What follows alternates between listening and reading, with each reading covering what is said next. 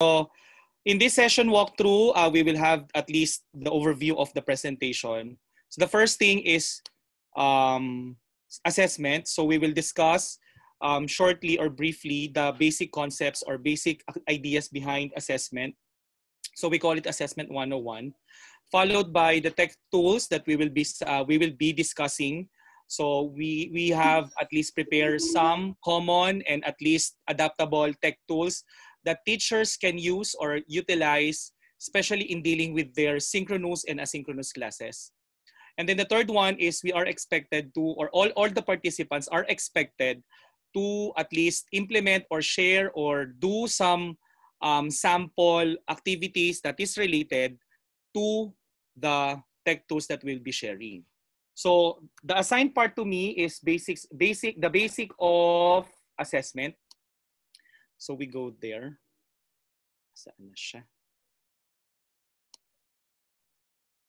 We go to the basic of assessment. So we will have, uh, we will uh, do the basic of assessment in a form of a quiz. So participants, can you please um, type joinmyquiz.com in your um, search tool or search bar or web, uh, web bar at the upper part of your website and then enter the code 396414. So we will have uh, the assessment discussion in a form of a game. So this is quizzes. So you can join by typing joinmyquiz.com in the search bar and then enter the code 396414. Okay, can you do it now? So while doing, um, thank you for the first participants. It's for RV Salva. Okay, sige lang po. So while dumadagdag po yung mga participants natin, um, top three teachers na mananalo po sa ating quiz will receive um, an e-book coming from Ma'am Intatano. So ipopost na, um, makikita naman po natin dito kung sino yung mananalo. And then yung top 3 po na makikita nila yung name nila na mananalo, um, pakipost po ang inyong email ad sa ating chat box para po ma-receive nyo ang inyong mga prize. Once again, top three teachers that uh, will have the highest score for the basics of assessment will receive an e-book coming from Ma'am Intatano. And then yung tatlo na po na yon, once ma-announce po yung name ninyo, pakilagay po ang inyong email ad, uh, Gmail, Gmail, um, email ad na Gmail sa chat box natin para po for your e-books. E-books. Yon. So we are expecting at least 300 participants. So 83 na po ang nakakapasok. E-books, no? Madami pong ibibigay si Ma'am Intatano kasi e-books po ang sabi niya. Yan. Parang gusto ko rin sumali dahil nga may prize. May libre pong e-books. Di ba? At least may freebies tayo. So we are reaching 100 participants. So sa mga nahihirapan po, paki-look at the upper part, that's the direction. Join myquiz.com and then enter 396414. Siguro pag na-reach na natin yung peak na 300, tapos kung may excess pa, habol na lang. Pero mag-start tayo once we reach, I don't know, siguro 250 o 225. Kasi hindi natin hihintayin lahat. O mukhang bumabagal na siya. Ayan. Let's have a minute to um to ano. Uh, we, so, minute of waiting for ano before we begin. Okay. Once again, join myquiz.com and then enter the code 396414.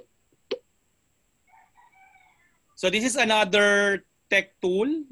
Join uh, Quizzes. Ang tawag po sa kanya is quizzes.com. You can see it at the upper part of the website uh, tinatry po namin to para at least magkaroon din kayo ng idea how you can also use quizzes in your quizzes. Kasi uh, most of the teachers, ang ginagamit po nila is Kahoot.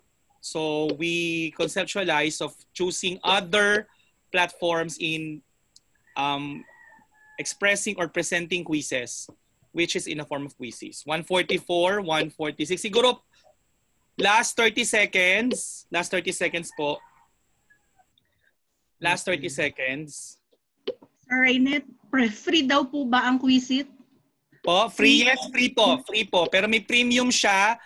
Um, yung premium po is kung may mga may mga special features po yung quizzes like um, yung may mga items po doon na kung gusto mong explain, lalabas din po doon, pero kailangan po premium ang account.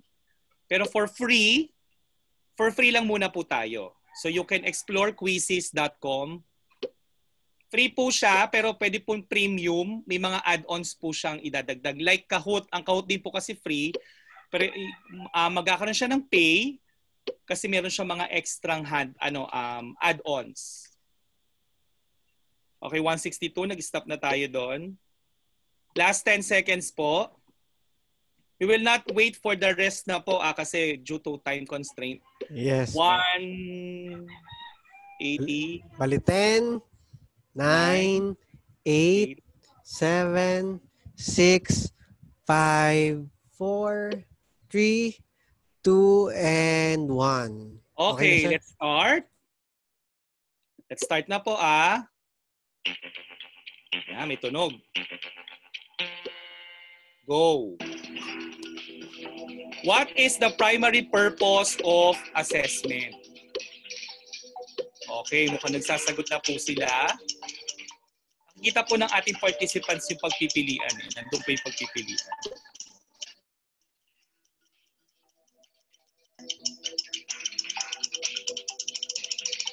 Bilis ah.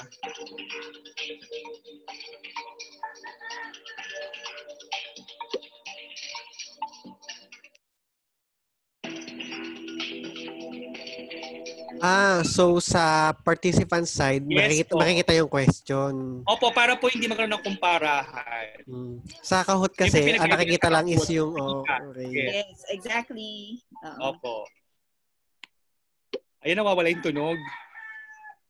12. Okay. 10, 9, 8. Okay.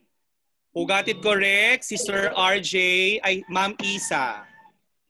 Okay, the correct answer is letter B, provide feedback to help our students succeed. So, well, technically, that's the primary role of assessment to provide feedback para malaman po ng mga estudyante natin if they learn from our lesson or not. So technically, that's the goal of assessment, no?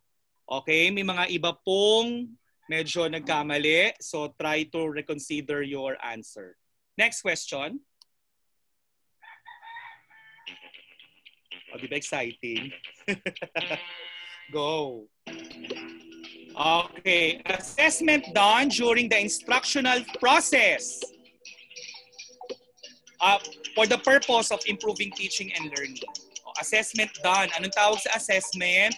Kapag siya ay during the lesson period, no? Nandiyan yung pagpipilian sa kanilang mga screens. Mamaya ko i-reveal. Ah, so yung point system niya pala, sir, is, um, since kung tama pareho, is um, paunahan, then Uh, um, may option po ang ano, ang quizzes. Pwede pong self-paced. Pwede pong synchronous, asynchronous yung mode niya. Ang ginawa ko po kasi ngayon is synchronous kasi nagpe-present tayo. Pero kung sa klase po, pwede man pong asynchronous. Ganon. Okay, time is up. Let's see. Okay, leaderboard. Tingnan natin. Oops. Si Sir Jules ang ano. So the, the, the, right or the correct answer is formative. O, formative po yun kasi when we talk about formative assessment, ito yung mga assessment na ginagamit natin during the course of the lesson. Hindi siya sa beginning, hindi siya sa end, siya ay sa course of the lesson. So to cite a few, we have, um, let's say for example, mga Socratic Paideia, mga uh, hot, uh, higher order thinking questions, mga activity na nag-a-assess sa bata while they are learning from our class. So that, that the term is formative assessment. Okay? Next question. So ito yung ano sir, ito yung quizzes na for synchronous kasi pwede siyang asynchronous. Okay, Ah. used to evaluate students learning at the conclusion of a defined structural period. So ito naman sa dulo. Anong tawag sa assessment kapag siya ay sa hulihan or sa dulo na? Okay?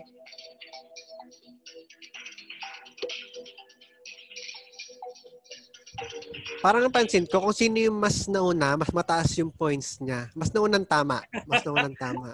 Oo, naunang tama. Oo, kasi kag- ino-consider yung time element in choosing sa pinakamagagaling.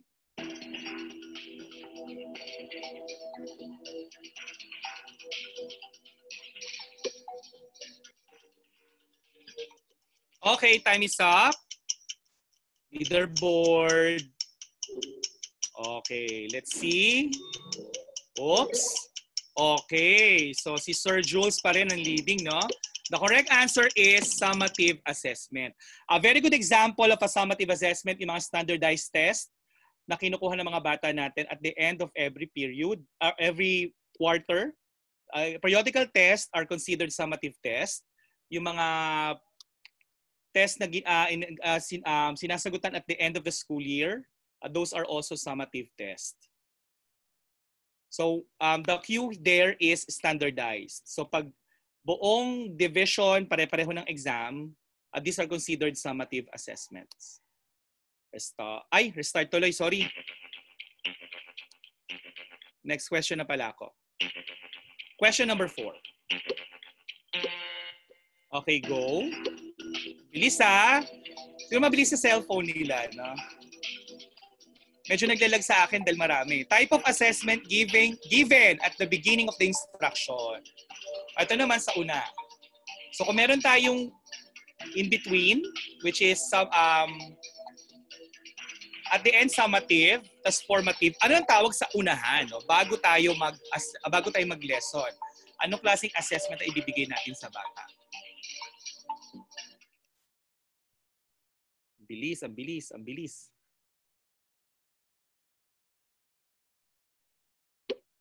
Ayan, ayan.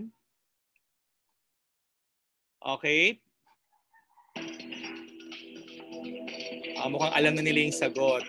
Time is up. The correct answer is, we go to our leaderboard.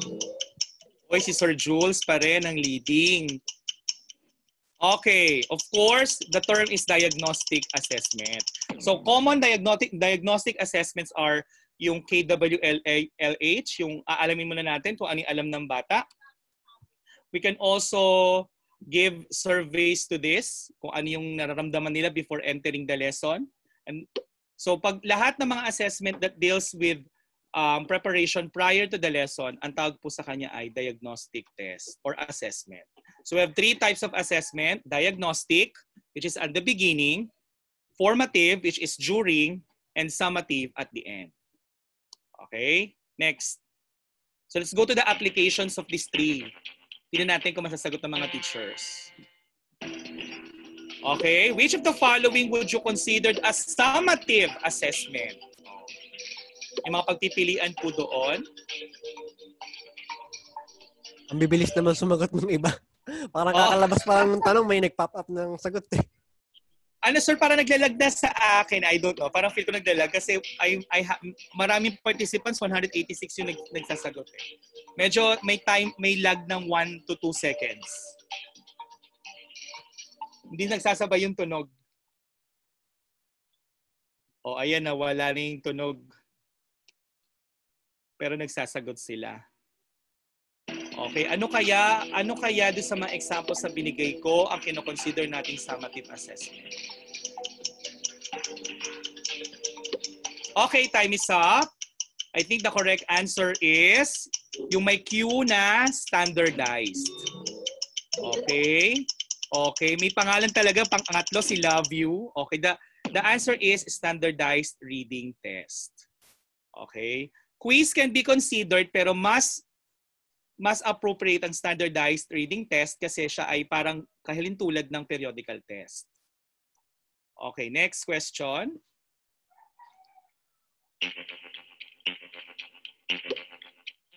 May nagsasagot, no? ang bilis. Which target area is generally assessed using rubric? O, alam natin, what's the primary goal of a rubric? Why do we need to use rubric in our assessment? At ano yung kinikater ng rubric? Okay? Ang bilis, ang bilis.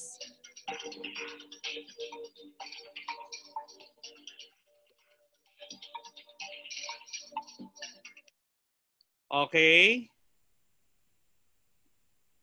Let's see. Ang cute, no? Dahil emoticon yung mga bata, hindi hindi na malalaman kung sinong leading. Basta pag nakita sa leader, ah, sa leaderboard, emoticon siya. So parang napoprotect pa rin yung itsura ng bata kung sino nauunang magpasa at hindi. Time's up. The correct answer is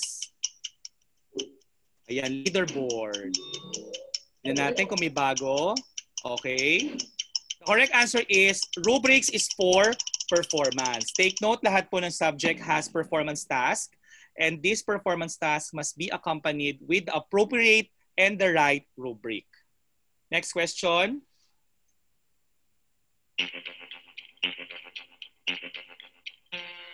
Go. Surveys and questionnaires are useful for measuring which target area. Kasi ayan. Ano kayang target area ang hinihit ng surveys and questionnaires? Yan. At sa makaka... Okay, medyo Sa magiging first, may nag-aabang sa yung ebook from Ma'am Vivian.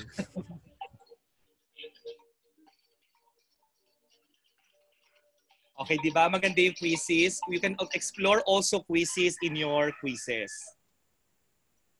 Mapapansin mo, sir, iba-iba yung avatar ng mga bata to protect Opo. their Unique face, no? talaga, unique. Oo, unique. Tsaka hindi malalaman ng mga bata kung sino na unang sumagot. Sa Kahoot kasi walang ganitong feature. So yun yung pinagkaiba nilang dalawa. So the teachers can ha- can choose. They can choose quizzes or Kahoot. Time's up. Okay, leaderboard. Tignan natin. Mukhang si Sir Jules pa rin. Pangalawa si Love You. Sino kaya si Love You, no? Nilagay niyo Love Love you. Love you too. Okay. The surveys and uh, questionnaire addresses disposition. When we say disposition, kung ano yung pakiramdam, feeling ng bata, or judgment niya sa isang bagay. Okay? Kaya tayo nagsisurvey is to, uh, effective siya for feedbacking. So mamaya sa Google Forms na ituturo, meron dong isang sample ng feedbacking na pwede kong uh, feedbacking form na pwede kong i-share. Yun naman ang aking i-share mamaya sa mga teachers. Okay, that's for free naman. Gumawa ako ng template for feedbacking. So mahalaga po ang surveys and questionnaire as a form of feedbacking to our students, especially in online online teaching and learning. Okay, next question. Mukhang malapit na po tayong matapos. Okay, which of the following statements is true? So, may, may statement po ako, dalawang statement lang yon. I think this is regards with um, test.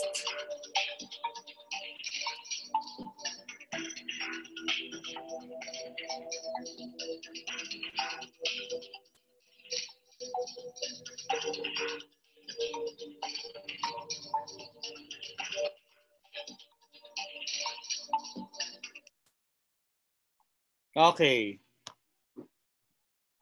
Tingnan natin.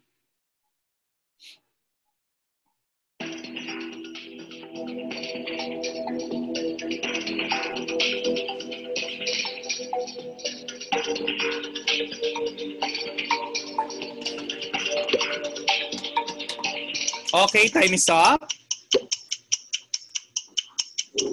Okay, leaderboard. Si Sir Jules pa. Oy, si Love You. Sino kayong Love You? The correct answer is, okay.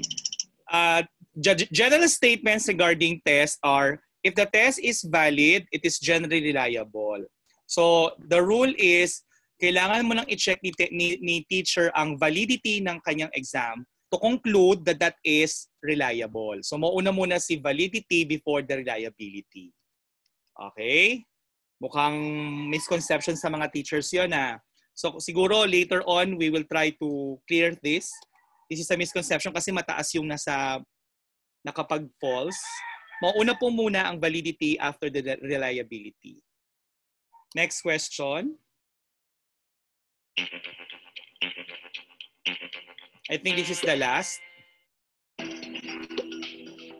Ay, hindi pa. Um, second to the last.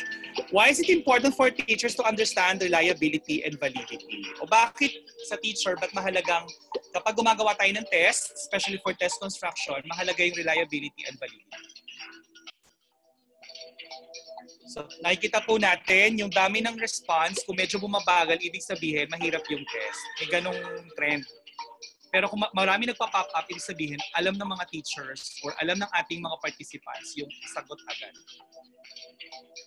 So this, that is also a feedback, a good feedbacking mechanism na dapat nating i-address. Yan. Actually, nakisali rin ako eh.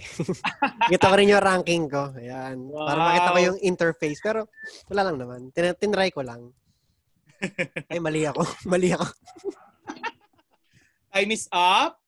The correct answer is Let's go to the leaderboard. Si Love You, sino kaya ito? Si R. Banigon. Si, okay, the answer is, so they can interpret test scores and help parents interpret the scores. Okay? So, the purpose of reliability and validity is for the interpretation of test scores. Yun naman ang goal niya. No? The end goal of every of reliability and validity for tests, especially when we assess is para ma-interpret natin yung scores ng bata. And also, to extend it further, interpret uh, to help parents interpret also the scores of the student, yung mga anak nila. Okay? So that's the goal. That's the goal of reliability and validity to interpret test scores. I think this is the last, sir.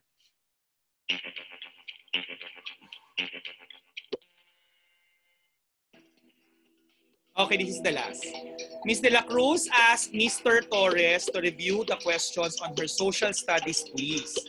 What type of measure was she worried? Saan siya nag-aalala? Okay. So, saan nag-aalala si Ms. De La Cruz? Bakit pinareview niya yung test niya kay Mr. Torres? Okay, ganit, minsan may ganito tayong dealing sa, sa department, no? Pinapa-review muna yung test also accompanied by the TOS para makita kung anong aspect ba ang minimeasure natin kapag tayo ay nagva-validate, the term is validation of test or we review the test. That is test validation.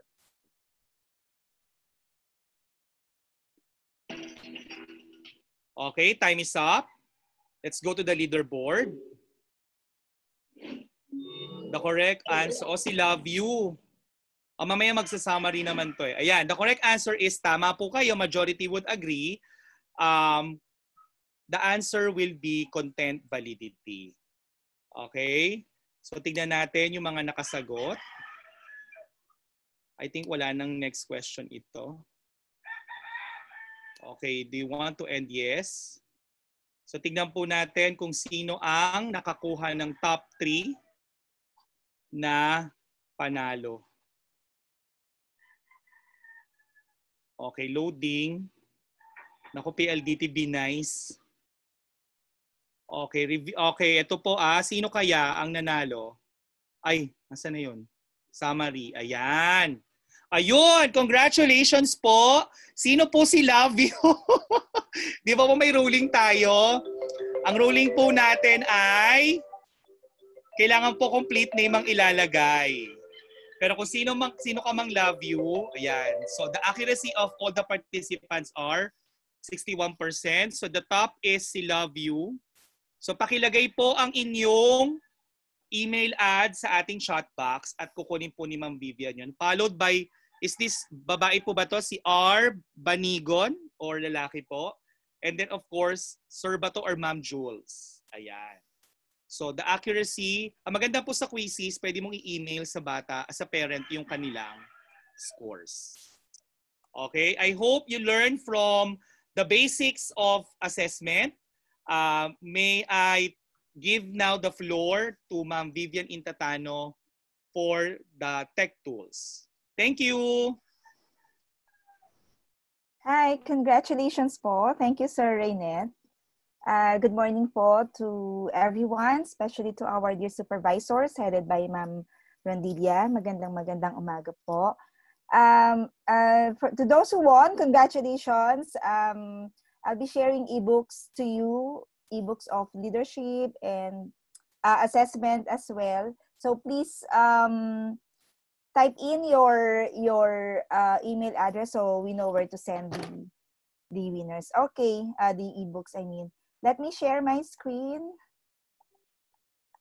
Okay. All right. Good morning again. I am Vivian Intatano, and you may call me Bam. I'm here to discuss, to just run down some of the tech tools for online assessment. Nawala yung S natin. Online assessment. So, um, we have already heard or discussed, na-recall tayo, we were able to revisit the the um, our one assessment 101. So I think we can now we are now ready to apply some of the tools, where to put these tools that I'm going to mention. But before that, I would like to invite everyone to have a 30 seconds smile break. So, magpo-pause lang tayo 30 seconds. You're going to take a selfie of yourself. And then, you can upload it to social media, sa inyong mga social media account using our hashtag TechToolsSDO Manila. Uh, you can upload it to your FB and IG. So mag-smile break muna tayo. The countdown starts now.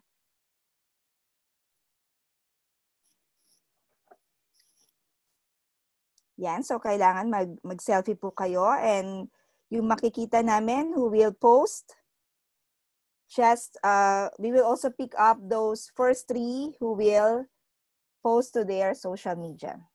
Kahit mamaya pa basta nauna kayo, you will get also um, you will also be contacted for your simple gift for our simple 30 seconds smile break. And tapos na po. So we will now thank you. Thank you for those who smiled. I hope uh, you're happy this morning and you had your selfie. Okay, welcome to our next session. So to continue with our discussion on assessment, so we all know that assessment is not separated from other aspects of our learning plan. So if we are going, whatever format of learning plan we have, um, we can say that whatever learning format, there is an assessment, di ba? Hindi, we don't prepare.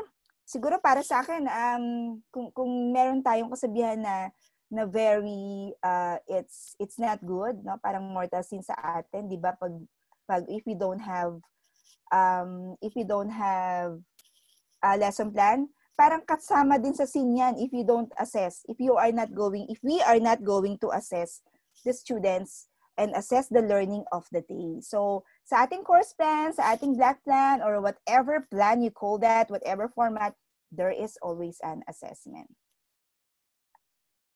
so we know the purpose of assessment and um, looking at the learning cycle, we know the content, we plan for the content, uh, we know it, uh, yung, yung kung well-versed tayo dun sa content natin, and we target, when we plan, we get, we, we tend to get the target and yung objective natin, what will be the learning outcomes, and then we are going to apply different teaching and learning strategies for us to achieve the learning outcome. And of course, that will not stop there.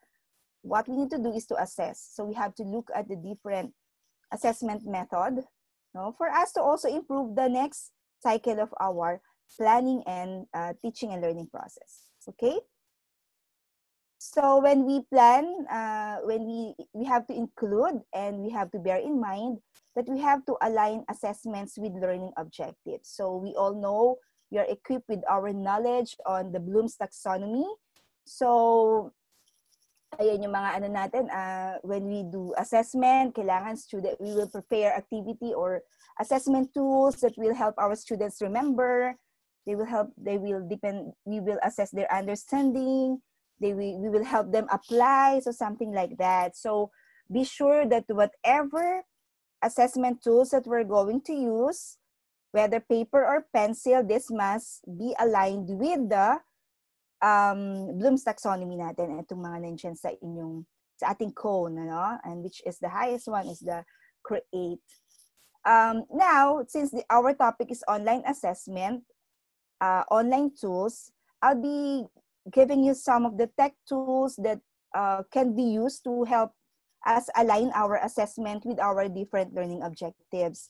So I hope um, based on our 101 in assessment, it's not only when we give paper and test, paper and pen test or quiz, which we do assessment.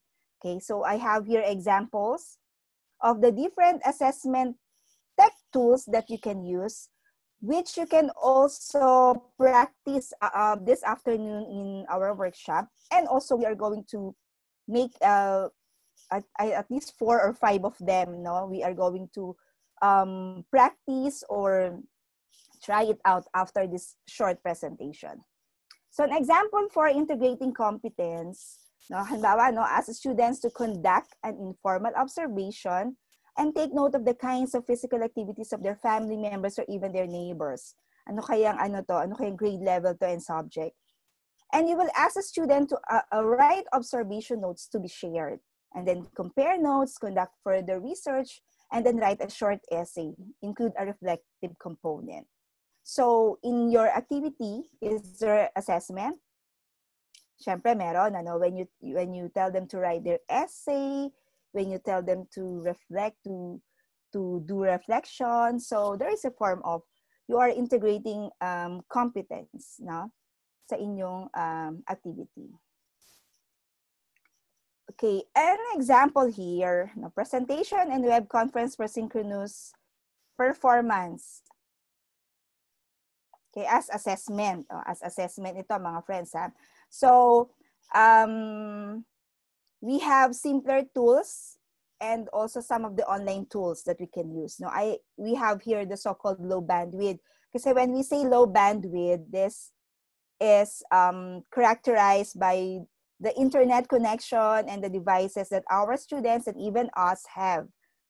When we have unlimited access to the internet and medyo highly specs na mga na mga devices, uh, we say na may high high ang bandwidth ng mga bata. Okay, pero ang and even the teacher. Pag low bandwidth, yung mga limited. So if we have only 10 gig for for the whole month, so it means categorize tayo dun sa mga low bandwidth na na connection. So, um, we have also to think of the assessment tool online that you can use to maximize kung low bandwidth lang ang meron ang mga bata natin and even as teachers.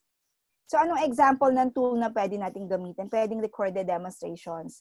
Like, for example, sa HE or sa MAPE, uh, nagturo tayo, no? Ba? nagturo ng pagluto ng spaghetti or or pasta formigiano ba yon? Parang yung niluto kayo na umaga. Um, pasta na ganon and then you will tell the students, no, tingnan natin kung if the students learn how to cook that. So you can ask them to record using just a cell phone and then they will just um, upload it to your Google Classroom or to your to just simple email. Okay. Documentation of process, photos and narrative uh, using pwedeng uh, simple movie maker, di ba? And then papa-upload nyo lang din. Uh, simple uh, PowerPoint presentations. I'm sure most of our students know it. Lalo sa, sa junior and even lalo na sa senior, ano. So, we can ask that for a form of assessment. Okay? Pag mga online tools din, so ito na sa left ko ng mga simpler tools, syempre it, it, it needs uploading and downloading, which may still complicate the task. No? But I know uh, your ICT in your school have already given you, uh, I think, ano, I suppose na given you some of the tips dapat para ma medyo uh, ang ina-upload ay hindi mag-consume ng data and then ang dina-download hindi mag-consume ng data. We should know that also. Um, online tools, we can have video conferencing tools like Zoom, Google Meet, and WebEx. Okay, these are free. No, yung Google Meet kasi may mga G Suite account tayo. No, Zoom is also free for for um, one hour yata, pero parang extended siya because of the pandemic. Uh, may mga restrictions lang. And even Webex, may free sila. Okay? Narrated PowerPoints, screencasting apps, na pag medyo mga sophisticated or, or kaya ng bandwidth ng mga bata and teachers, we can explore this kind of software or online apps. Para saan to? For the students to record or demo what they have learned, no? Like sa MAPE, kunwari, nag, nagturo ng dance online si teacher, si ma'am. And then you will tell them to record, no? You can use those tools that I have mentioned. Okay? Uh, multi-projects and e-portfolios assessment. Halimbawa, magpapagawa tayo ng ganun sa bata. Uh, you can, we can make use of document, pag mga low bandwidth or simpler tools, we can make use of the documentation. Again, photo plus narrative report and then reflection. Okay? Kasi uh, nagpagawa tayo ng projects, nagpagawa tayo ng, uh, it's just simple, gagawin lang lang sa Word, gagawin lang sa sa ano uh, sa PowerPoint, na pwede ding email, no, ipapa-email niyo lang. Mga collaborative documents that can be uh, used yung mga app para medyo mas uh, uh, ma-maximize yung gamit ng data nila. They can use that sa using their their um ano to, akan ng mga tablets. No? Yung mga collaborative documents, you're familiar with that, right? Yung mga shared Google Docs, uh, shared um, Google Sheets, okay, mga sharing up na pwede, which mamaya gagawin ninyo. Uh, and then the students will submit hard copy uh, or soft copy of that by email. So kung allowed na halimbawa na magsisend, pwede niyang, kung ano yung ginawa nila, pwede nilang isend sa school, di ba? I- isa-submit. Pero dahil nga, for safety of everyone, we want to use the technology. So pwede yung mga collaborative tools na alam natin, dun gagawa yung bata, and then isi-send sa atin via email or sa mga chat nyo or uploading sa Google Drive sa inyong mga Google Classroom. Pag medyo kaya-kaya ng mga bata, we can we can make use of the different blog sites. Now, blogging is also used to for the students to express their creativity, no, with the help of the thought-provoking questions of the teachers makaka, para ma-assess yung learning nila for a particular unit or lesson, we can ask the students to create a blog.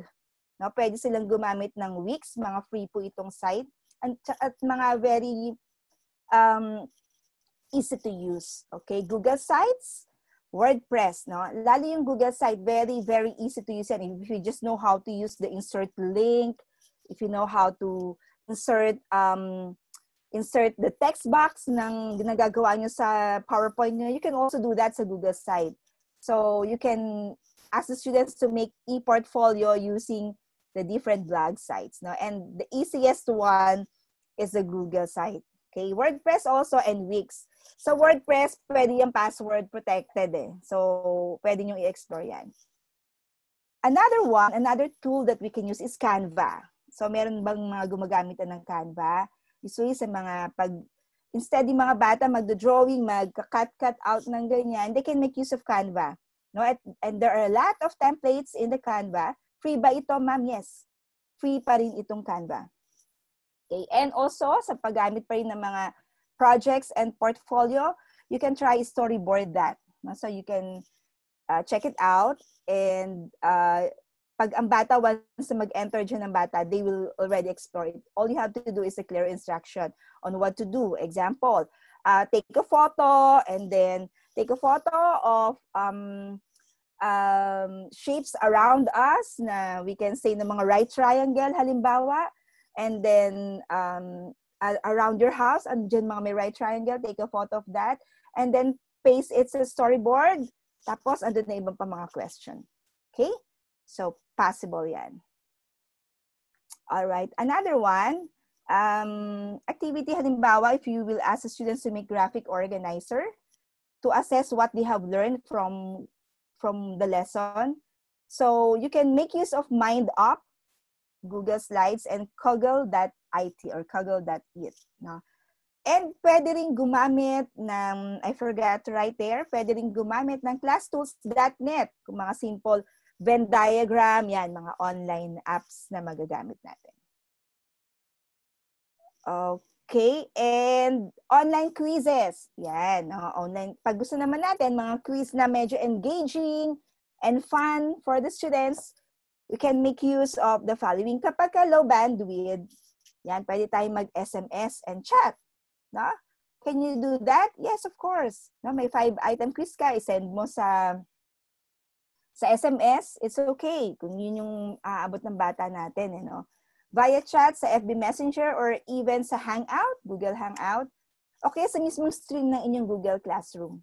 Pwede yon no? Na, na you just post it there, yung, yung question nyo, and then you are going to, um, uh, the students will answer. Saan sila mag-answer? Pwedeng sa papel nila, and then take a photo of that, then send it to your group group messenger kung yun lang talagang abot ng bandwidth natin. So, ibig sabihin may paraan pa din, ano? So, kapag, if kaya, if the students can, dahil may kaya ng bandwidth natin, okay, um, you can make use of the quiz feature sa mga learning management system. Like sa Moodle, may quiz feature yan. Moodle is uh, also being used now. May free din siya.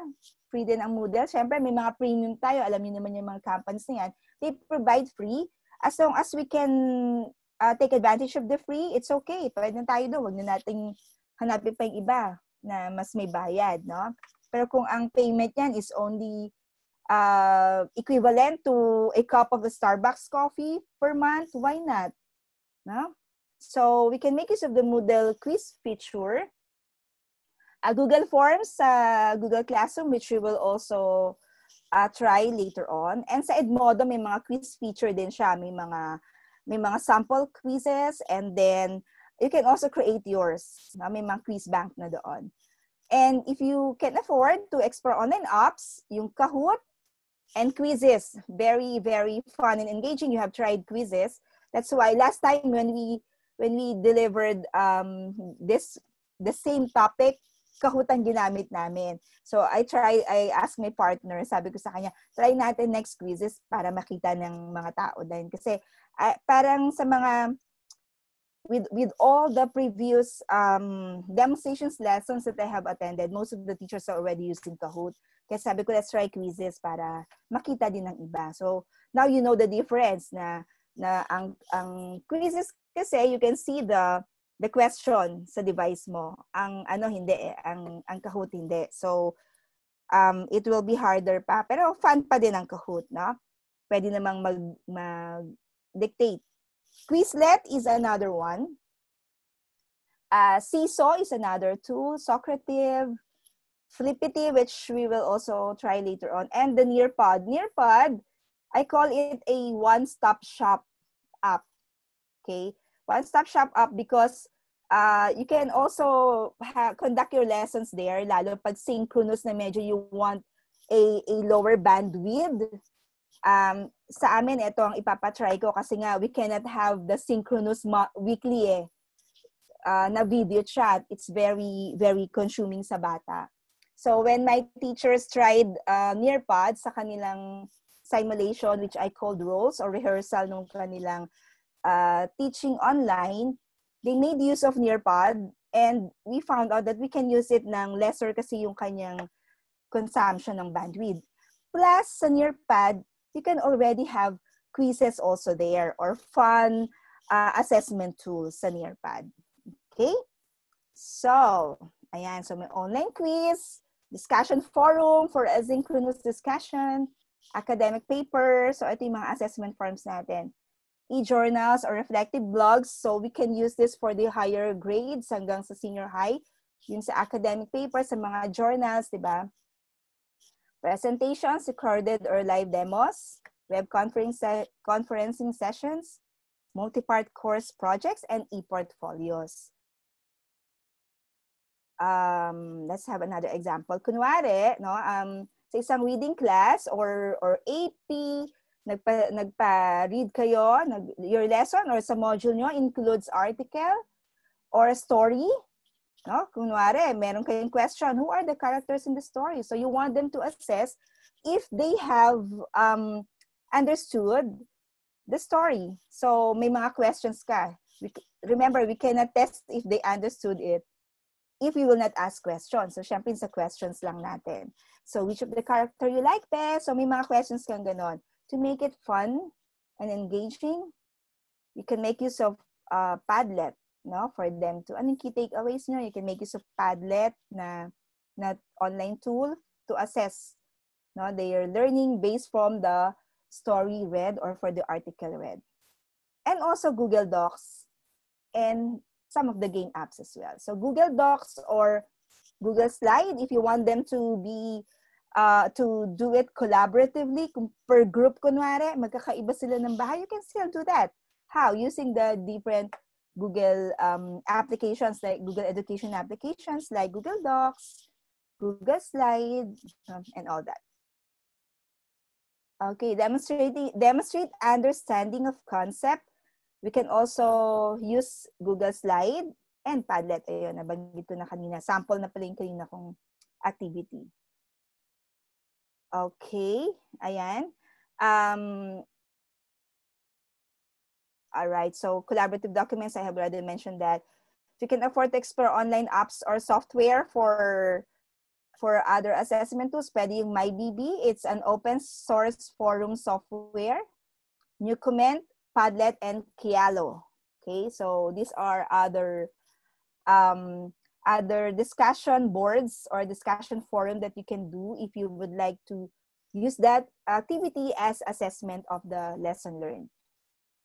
Okay, sa ating mga, dati mga gumagamit ng mga academic papers and e-journals, no, you can make use of the different Google Apps pa din, Google Docs, Google Slide for collaborative work. Okay, so what I have here in my slide are examples of some of the activity na pwedeng ipagawa to assess the learning. Lalo at gagawa sila ng mga academic paper and e-journals. No? Kuha tayo ng isa, halimbawa, um, articulate observations on human cultural variation, social differences, social change and political identities. So how will the student do that? You can ask or assign um, questions, no? And then they will answer sa Google Docs or Google Slide. Pwedeng individual or they can also do that collaboratively. Okay. Um, all right. So these are the tools. Disclaimer lang, I am not connected to any of the company who, de who developed those tools. I just want to share those research-based um, applications online that we can use to help us in assessment. Okay, now, so we are going to try some of those tools that I have mentioned. So later on, after our um, trial, yung tayo mismo, yung workshop natin, you will be given also your task to do for the day. Okay? So, is there any question about my sharing? All right, being there none, I would like to return the, the screen to my partner, Serenet. Thank you, Ma'am Bam. Um, I'll be presenting two common two common um, tech tools na pwede natin gamitin in our lesson. So before that, I want you, si, syempre, to introduce the first tech tool, I want you to go first to this site, polev.com slash renatrenan083. And then, um, queue in, may tanong po doon, click yes or no. So do you have already the modules for the entire first quarter? Click hit yes if you have it. Hit no kung hindi. Uh, can you do that that one for two minutes? Sige. The first um, tech tool is known as Poll Everywhere. Pero bago natin gawin, ipapa-experience ko muna sa inyo. Kindly type the, the link here chat room. So ito po, pollev.com slash Raynet Renan 083. O yan. O, tinype ko na po. Yes. polev.com slash rainer083. Welcome. May nag-know?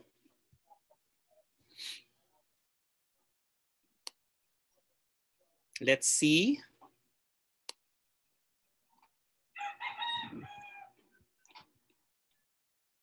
Sa paulit nga po, paano pong paulit? Ay, po-post ko lang po ulit. I think naka-all, ah, panelist lang ba?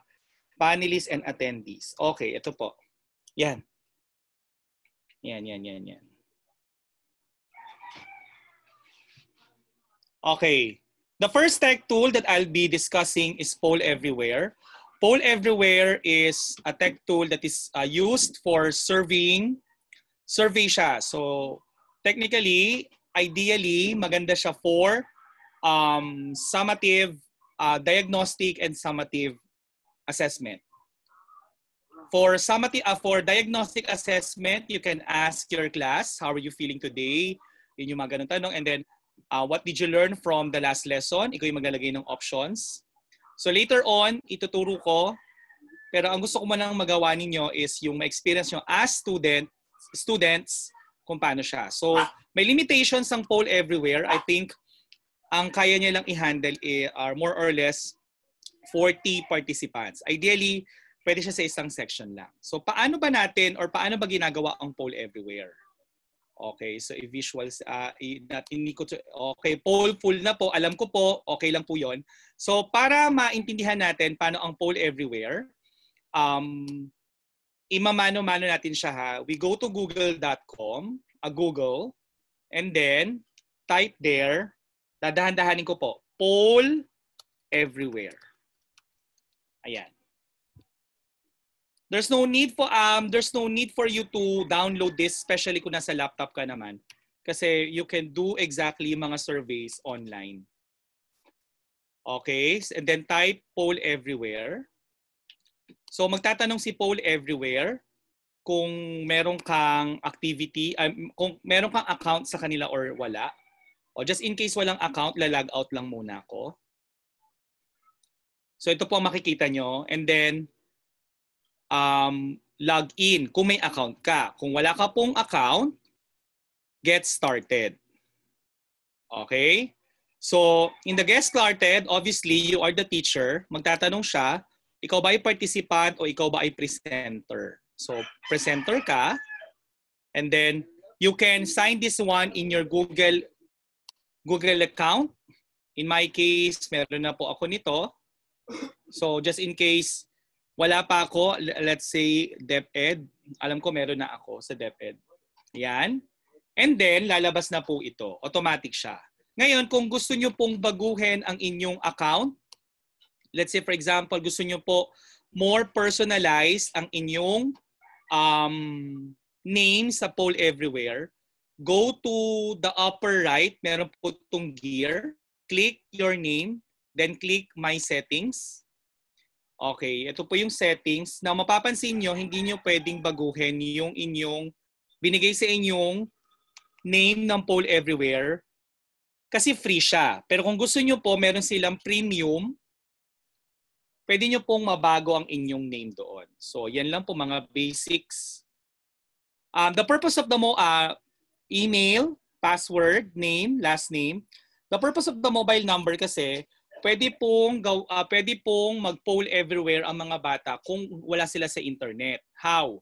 Using their cell phones, kaya lang provided po dapat meron silang load kasi ite-text nila yung sagot nila. So, magte-text yung poll everywhere sa cellphone ng bata tapos ikikinong bata yung sagot niya and then ibabalik niya sa sender.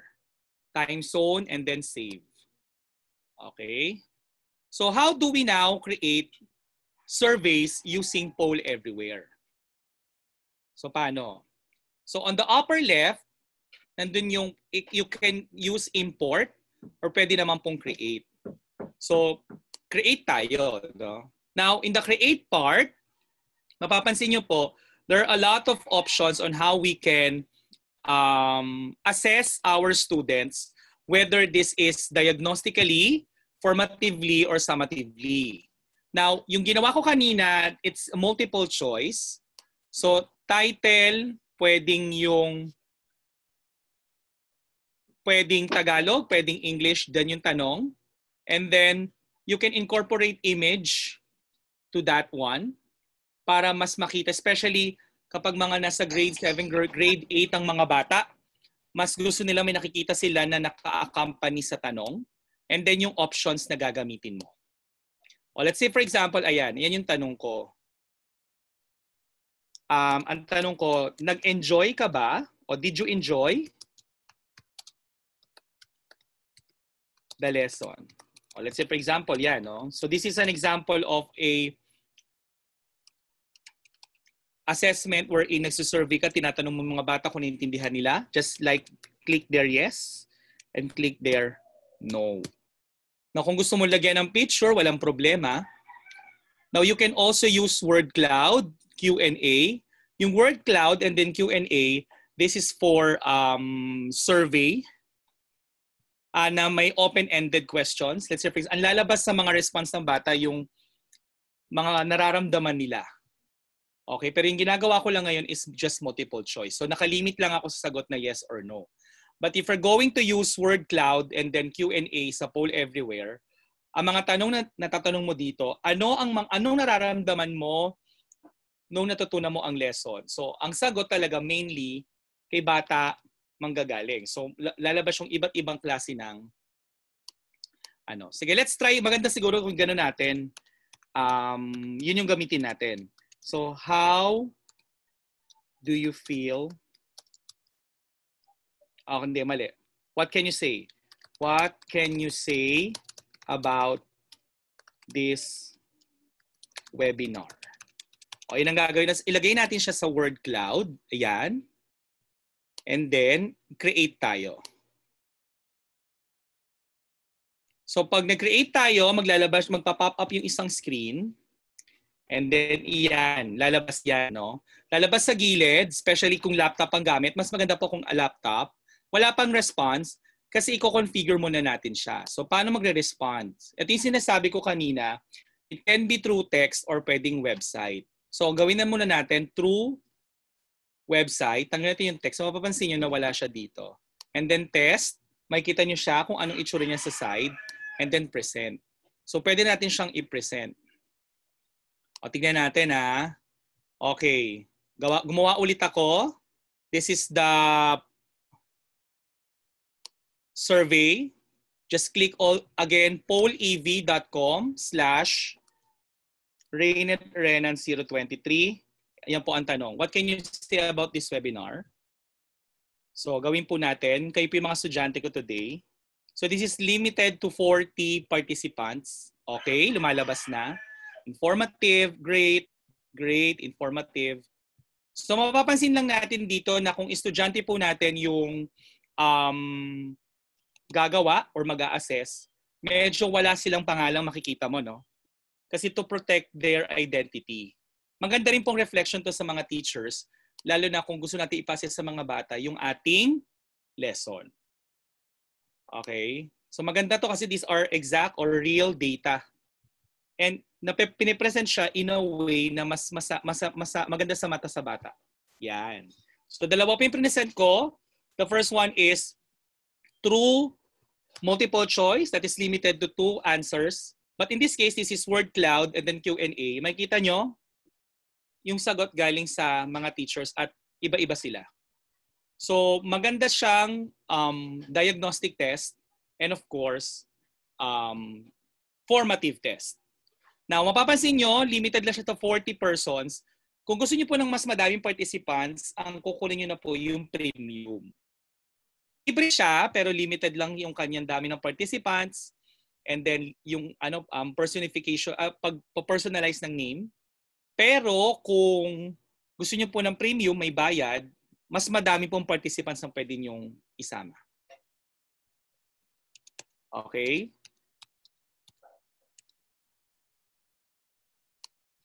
I stop share, sorry. I do hope you learn um you learn I think we can entertain questions. Oh, mamaya, mamaya na lang po, no? So yan, the poll cannot longer accept responses kasi um, limited lang siya. So we're done with poll everywhere. Sana po, may limit po ba? Yes po, 40. Uh, creating question, well, ano, isang survey, isang question. Centimeter kasi 5, oo, tama po. Pero sa poll everywhere, one question po, then yung po isa survey natin. Okay. Any question pa po regarding poll everywhere? Parang feel ko wala na. Let's now proceed to one of the most common na anong tawag dito? Common na Teka lang, stop. Hindi na itatapos na ako doon.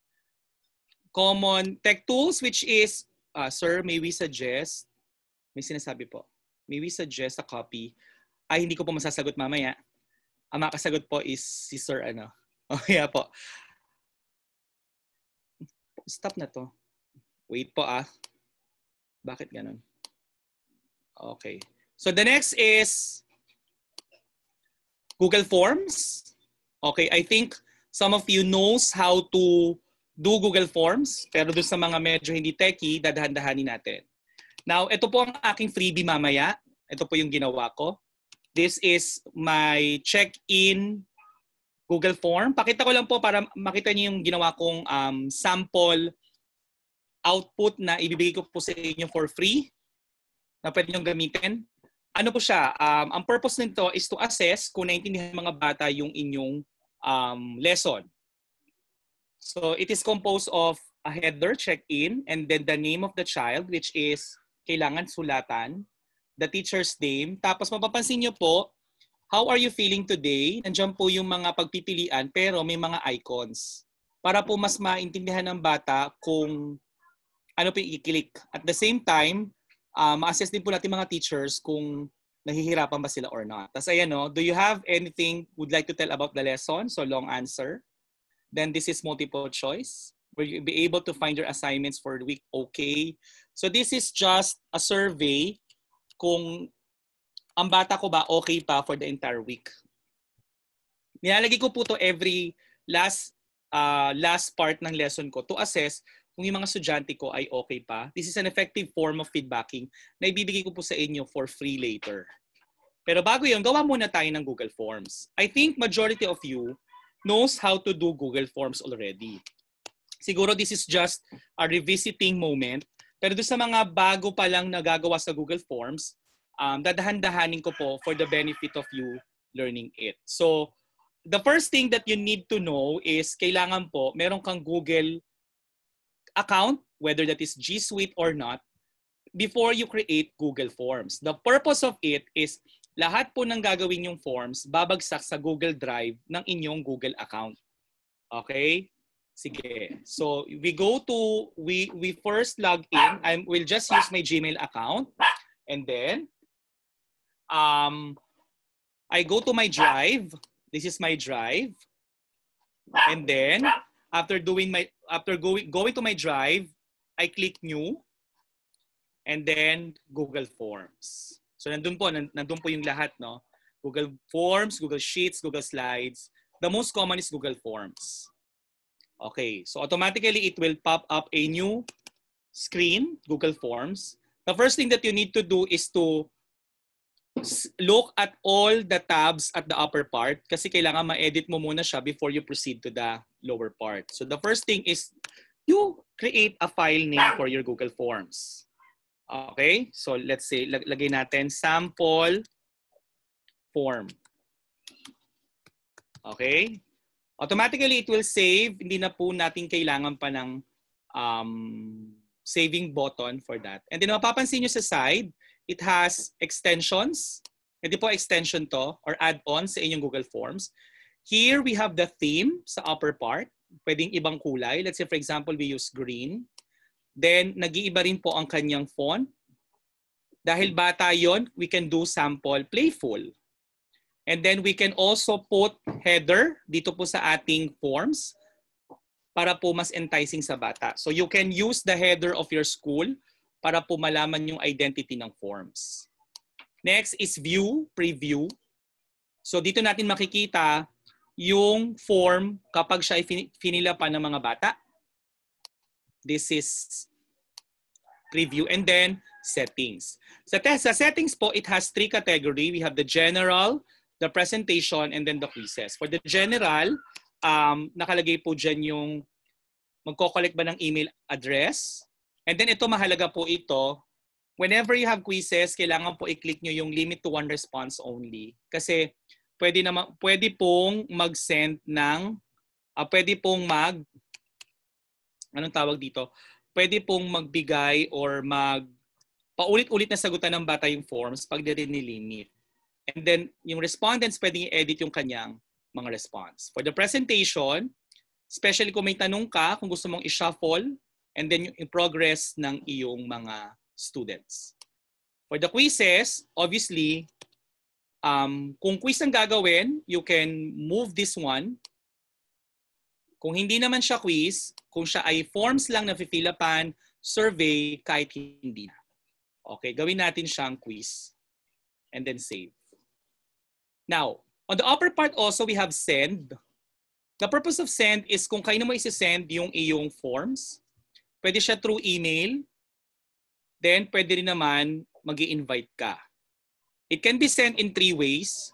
Through email, pwede pong link, pwede siyang paikliin, short link, and of course, pwede siyang i-embed doon sa iyong PowerPoint or Word, and also in Facebook and Twitter, if you have. And then you also have three dots here kung gusto mong kopyahin. So ito po mahalaga to ha. Why? Kapag po may nag, pag ako po nag-send ako sa inyo ng sample Google Forms, gawa niyo lang po siya ng copy. Yung copy lang po ang pamimigay ninyo. Or gawa kayo ng copy, basta yung tatlong copy, yung unang copy is yung pamimigay, yung pangalawang copy personal, yung pangatlo yung naka-share sa akin. Why? Kasi yung mga shared forms po, kapag po dinilit ng original na gumawa, yung forms, madidelete po yung shinare sa inyo, hindi niyo makokopya. So you need to create forms, uh, you need to copy the form para po may sarili kayong kopya. Okay, we can also put collaborators like in Google Classroom and the rest of the Google apps kasi may collaborations yon and the like. Okay, so I have here a sample, the, the features, no? Nasa side yung features niya. The first one is you add question kung siya po ay quiz. The second one is you import questions. So pwede po mag-import sa iyong Google Drive. Kung meron ka po ang naka-word, pwede pong i-import yan. Tapos lalagay mo lang sa Google Forms. And then we also have the title or the description. Parang siya yung separator. Kung meron ka pong quiz, yung first 10 ay multiple choice, yung second part naman ay enumeration, ang magsiseparate lang po sa kanya ay itong add title or description. And then, image, add video, and then add section. Sa add section, this is the first section of your Google form. Ito naman yung second section niya. So, kung i-preview natin yon ng may add section, obviously, ang, makukuha, ang una mong makikita yung first section followed by the second section. Okay? So ideally sa quizzes, maganda to. Kunyari, yung first part mo ay concept, magbabasa mo na ang bata and like, and then second part yung exam. Pwede rin po yun. Okay? Now, punta muna tayo dito sa first part. Tatanungin ka, des, uh, form description, kung ano po ang lalagay mo. Usually, ang lalagay dito yung inyong instruction sa iyong exam, kung ano po bang exam, ang direction sa exam ang gagamitin, and the like. And then dito sa title, kung anong title ulit, kasi dalawang title na pala yung nagawa ko, no? O, ito burahin na natin. Maglalagay tayo dito ng add question. Yan. Now, in the add question, you will type here the question. Now, you can also put images on that question. And then, you can choose from the different modes kung ano pong klase ng way ng pagde-deliver. It can be short answer, paragraph, multiple choice. Sa checkboxes po, para siyang multiple choice pero chine-checkan lang ng bata yung sagot. Drop down, may isang option lang na pag clinic yung lalabas lahat ng option. Linear scale, multiple choice grid, tick box grid, and of course, the date and the time. Pag sinabing date and time, nandito yung element ng kung kailan ipapasa, kung kailan lalabas si form, uh, kailan ipapasa si form at anong oras siya ipapasa. Okay. And then, you have here the answer key. Don't forget. For the answer key, may option dyan. Kiklik mo kung anong tamang sagot. Yan. And then, kung anong ilang points yon. Now, since we are talking about assessment and feedbacking is an essential part of um, essential part of Google uh, assessment, you can you, you can put their feedback. Kung mali po yung sagot ng bata, lagay mo dyan. Sa incorrect, lagay mo, try again. Tapos you can do it para ma-boost yung ano ng bata, yung confidence ni bata. And then you can also integrate links and then um, videos sa YouTube para just in case mali si bata doon sa tanong, pwede niyang i-revisit yung concept using the video. Yun po yung mahalaga doon. And then kung correct answer naman, pwede ring may video, pwede ring link, lagay mo doon. Good. You may continue. Ganon. So teachers, kailangan po mahalaga na lagyan natin ng feedback ang ating mga assessment tools na gagamitin para yung mga bata, they feel motivated all the time. Okay? And then once done, you can send this one to them. And then ang maganda lang po dito, meron tayong responses. On the second part is the responses. Since wala pa pong responses tong ginagawa natin, this is just the essentials. Um, makikita nyo po doon yung data about sa ginawa ng mga bata.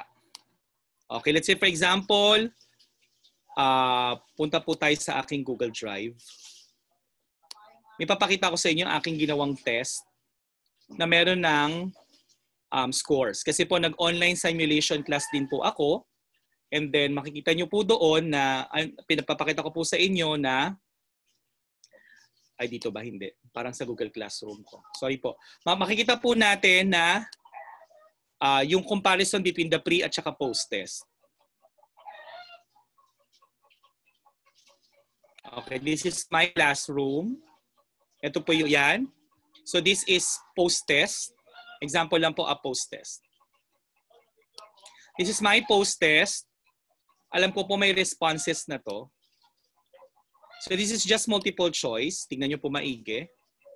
Tapos magsasagot lang po yung mga bata. I-click lang nila. Okay, I have 23 responses. Mga estudyante ko po ito. Okay. And then meron din po ako, ito po yung sa responses, as you can see, you have the summary, the question, and then the individual scores. Ang maganda lang po dito is that, makikita natin sa summary, yung data ng uh, distribution ng scores ng mga bata. And then, item analysis per item ilang mga bata yung nakasagot. And then, yun siya. So I have my post-test. This is my pre-test. Pre-test. May pre-test ako. Ayan, this is my pre-test. Post-test, what I know. Ay, pre-test. This is my pre-test.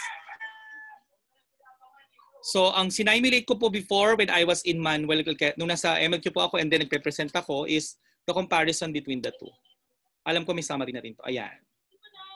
So nalalaman ko ngayon, being a, uh, being a, a teacher by myself, kung effective ba yung mga tanong na nilagay ko sa aking quiz. Okay? Now you can explore Google Docs. There are a lot of um, help that you can get or co- get coming from Google about creating more and be creative more in dealing with Google Forms. Okay? Pero as a source of treat sa inyo, gumawa po ako ng sarili kong self, uh, a student assessment form sa mga natutunan nila. This is for free.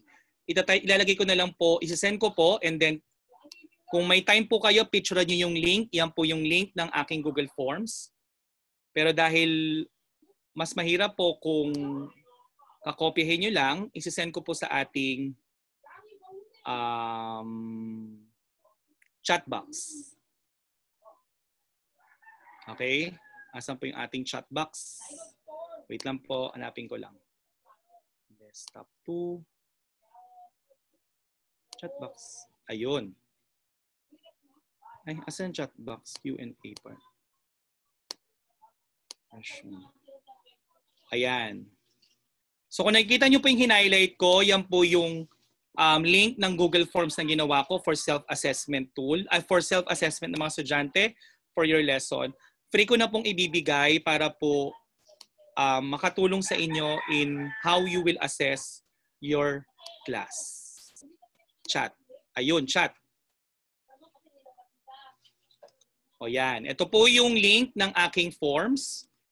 You can click this one and then um, ang gagawin nyo po, i-click nyo tapos tandaan nyo po yung ginawa ko kanina.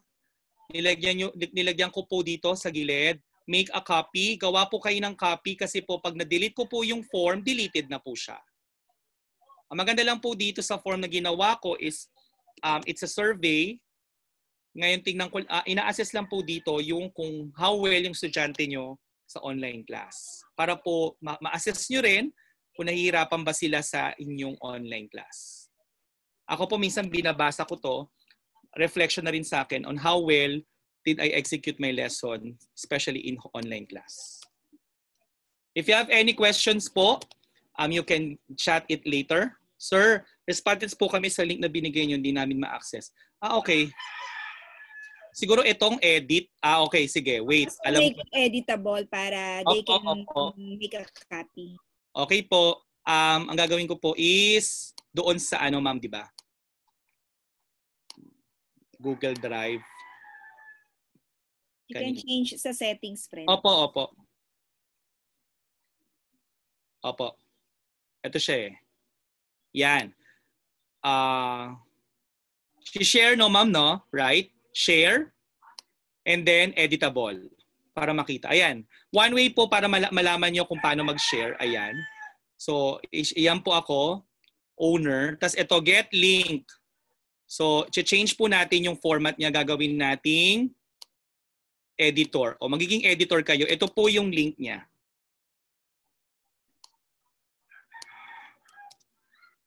Ay, wait. Sorry po. Yan. Change. Okay, copy link, copy. Ito po. Yan. Sharing. So you can have my um, personalized form. Lagay nyo lang po siya or pwede nyo pong gamitin in your classes. Okay, with that, marami pong salamat. Now, may I turn on my presentation to my partner, Ma'am Vivian. Take it away. Hi, thank you. Uh, yung ano po, once uh, you get into the link given by Sir Mata, um, you can make a copy. Just click the button dun sa right side. and Opo, then, yung three dots. Yun. Uh, make a copy, tapos you can have it your own. So, pwede yes. na scan. So, you can make use of uh, Sir Raynet's template. Okay. Kasi po madalas, ma'am, yun yung tinatanong nila, bakit daw po nabubura? Kasi hindi sila gumagawa ng copy.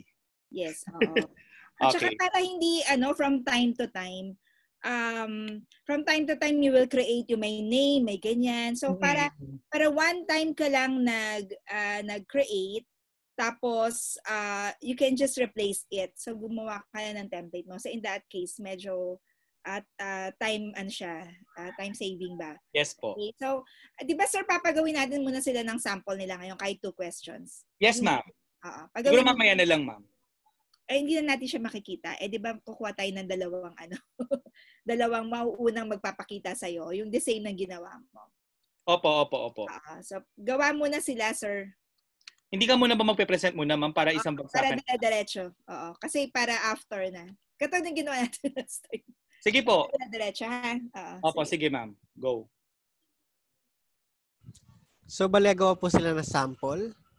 Yes, oo. Okay. Uh, using yung yung same na ginawa ni sir, you can create your questions, at least two, two questions, and then send the link so Sir Raynet will uh, show to everyone what you have done. Uh, isi-share namin. So send the link here yung makakatapos, um, the first two will again uh, receive a gift from us.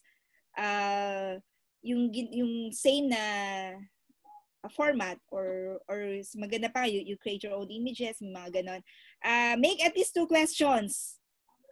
Tapos um, send us the link. Share us the link here. Type it in here sa ating chat box. Okay? So habang naantay namin, uh, we will be uh, answering questions if there are with regards to Google Forms. And yes po. Yung link po, um, as ano po, as ano pa rin po siya, as attendees.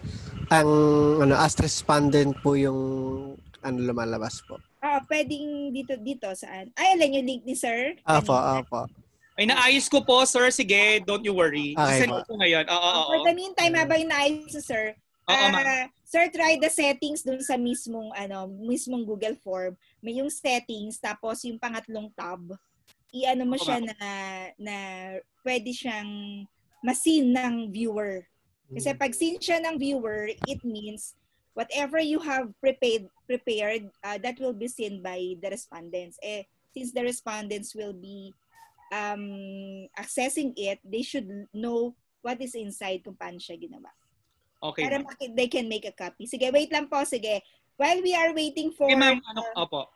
the new format ni Sir, para dun sa kanyang sample na template, na magandang template na pinakita kanina, may we request everyone to please uh, try creating at least two questions using your Google form and then share it to our chat box here. Kasi we practice how we, we, we put questions there, how we use it, and then practice yung yung pag-share. Yun yung gusto natin makita, no? So- Copy, share, copy the link, So, bali may nag-send po. Ah, may naunang nag-send kung tama ako sa akin nakita. Ah, mas nauna po Ah, si Sir. Ray- Raymundo. Si Sir Raymundo. Siya po yung Raymundo. mag-send. Open, open ko po ba yung kanyang... Ah, sige po. Oh, quiz ang ano natin mga friends ha, quiz. Quiz na gagamitin kasi assessment tayo, no? Think of um uh, assessment questions that you have, no, mga previous nyo na nagawa or or nasa stock knowledge natin, the questions that we would like to ask to our students to assess their learning. Uh, think about it and then make a Google form. Just two questions if you can. Tingnan natin yung kay Sir Raymundo Sereno. Ayun, ginamit ni Sir Raymundo na yung kanya, yung kay Sir Sir Mata eh, kay Sir Raynet. So make your own po muna tayo, make your own. Okay po. Bali, si yung Ma'am- ibang layout po yung titingnan po natin.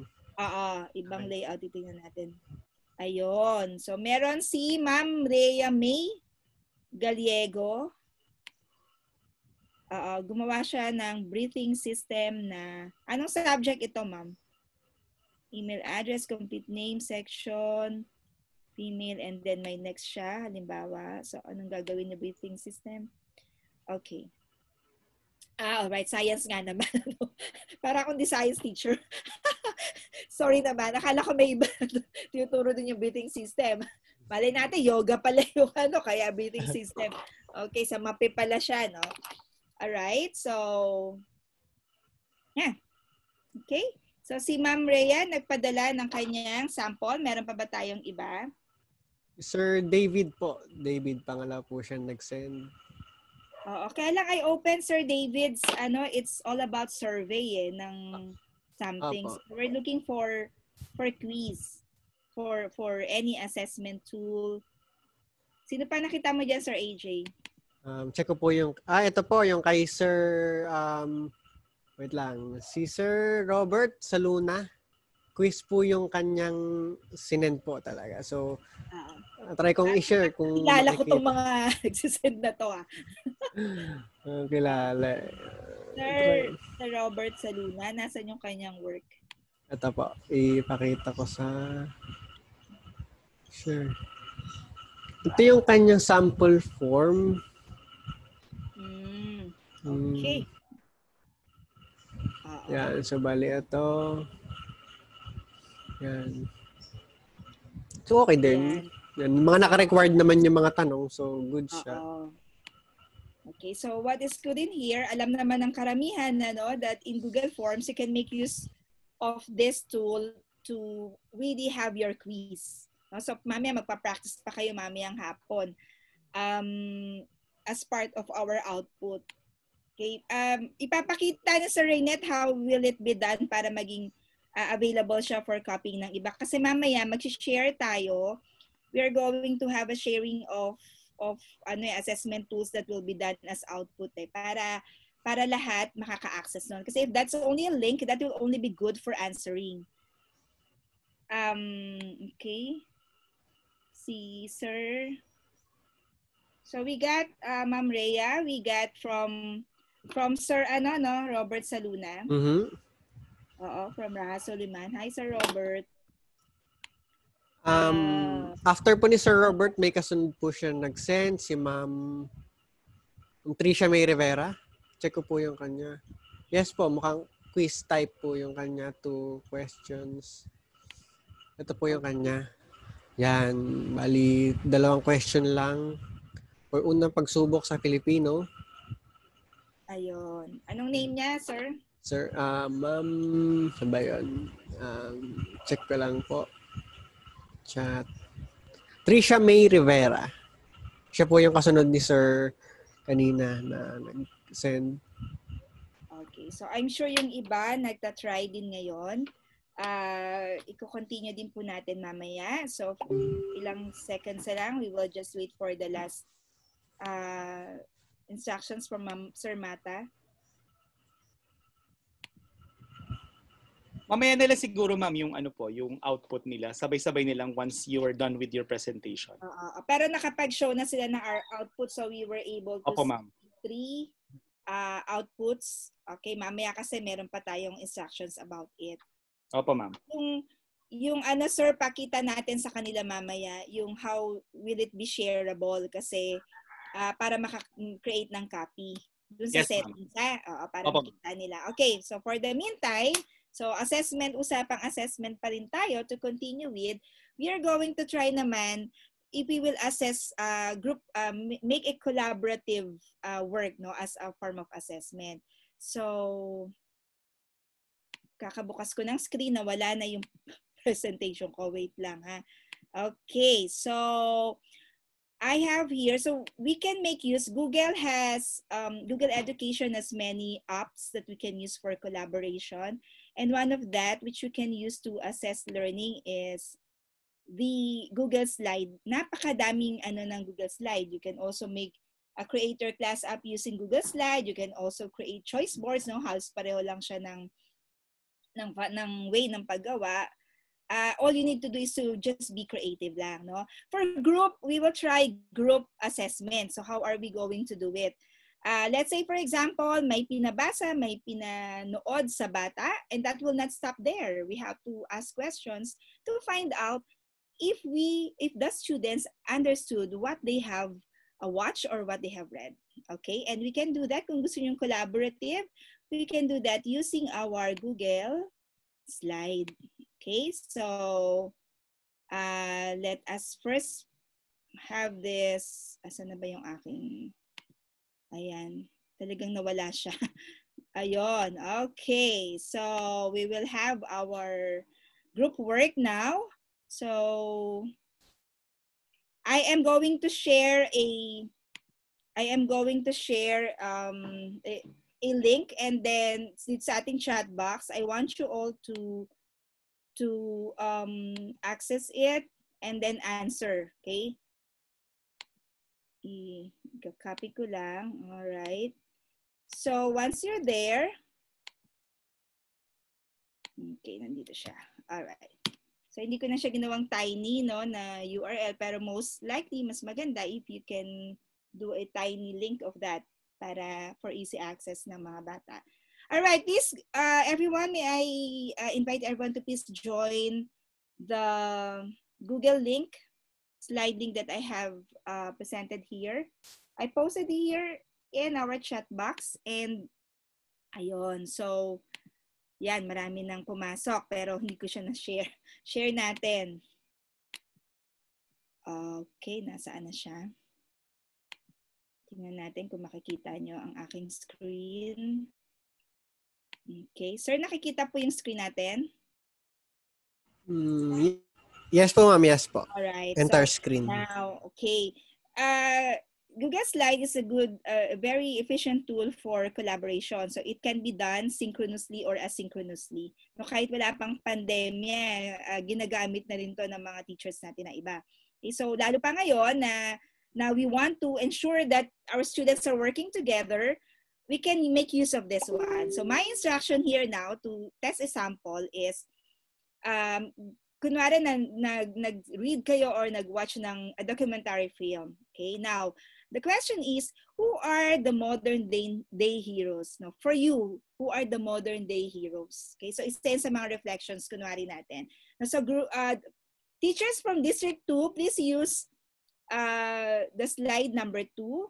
Uh, District 1 pala teachers from District 2 will use slide number 3 and so on and so forth. What you can do is to type in your answer or you can also insert images. So this is just like a PowerPoint presentation. You can make use of the insert tool here.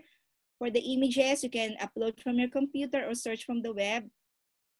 For text box, if you want to write something, you write it in here. So mag-share kayo kung sino man kayong mga teachers na with us in our workshop and then you belong to District 2, um, use slide number three. So there is a particular slide for a specific um, a specific district.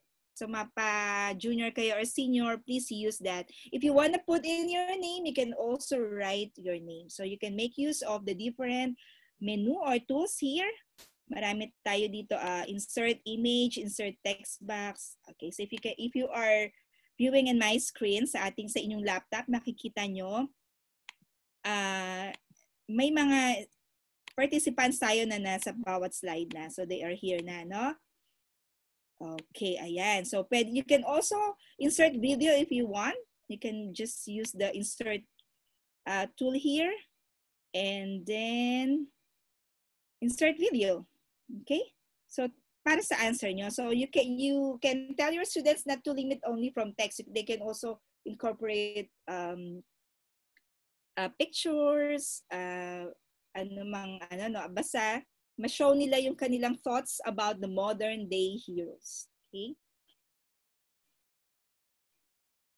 All right, so,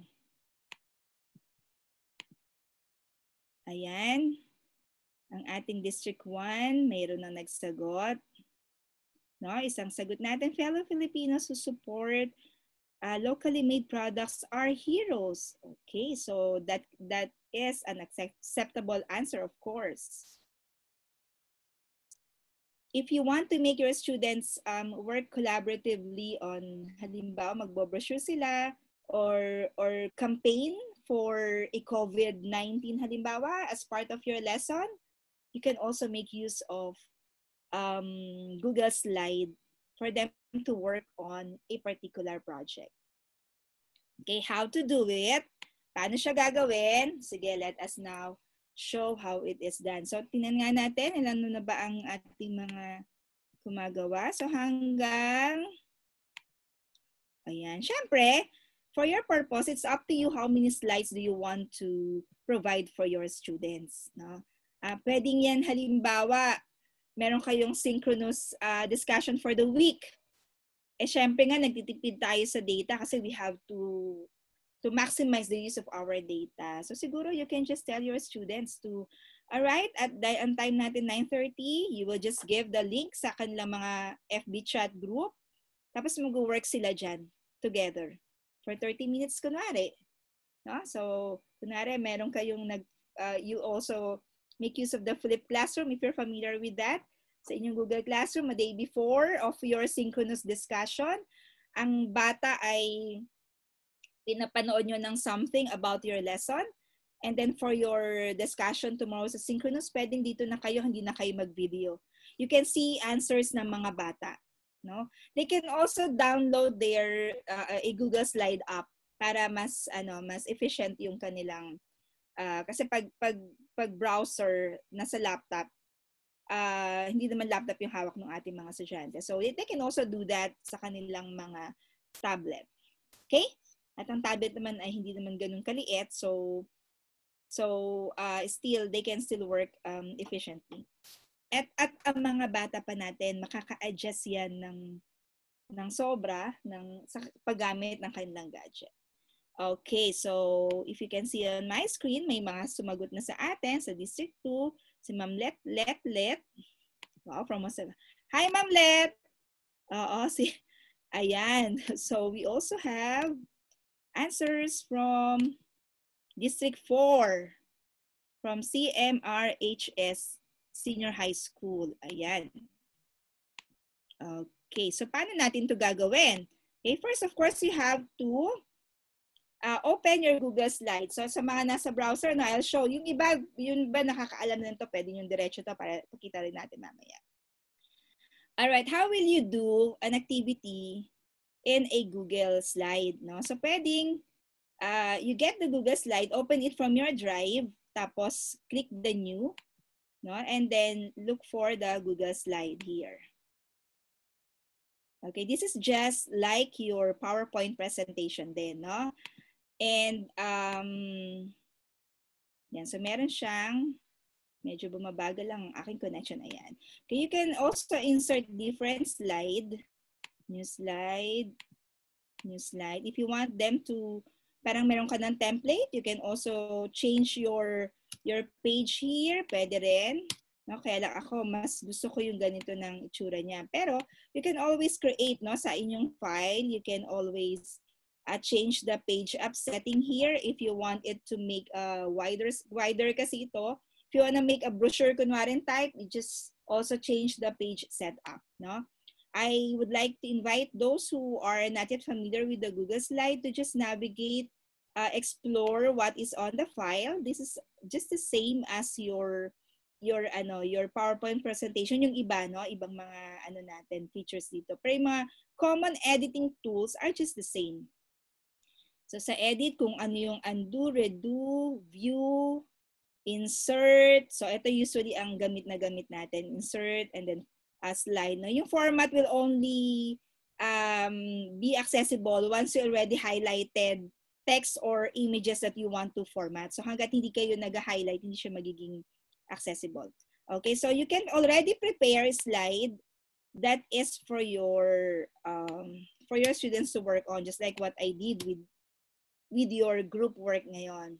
Okay, Uh, do not forget to write your title kasi lahat ng ginagawa nyo, just like what Sir Raynet said, lahat ng ginagawa nyo under ng Google uh, using your, your Gmail account will be um, will be directly uh, saved sa inyong um, Google Drive. So it will be directed to your Google Drive. So kapag wala siyang title, malilito pa kayo. But if you will write your title, it, it will be easier for you to access your file once you go back to that file. Anong ano nyo, kunwari, um, assessment, group assessment, number one. Kasi ito yung number one nila. Okay?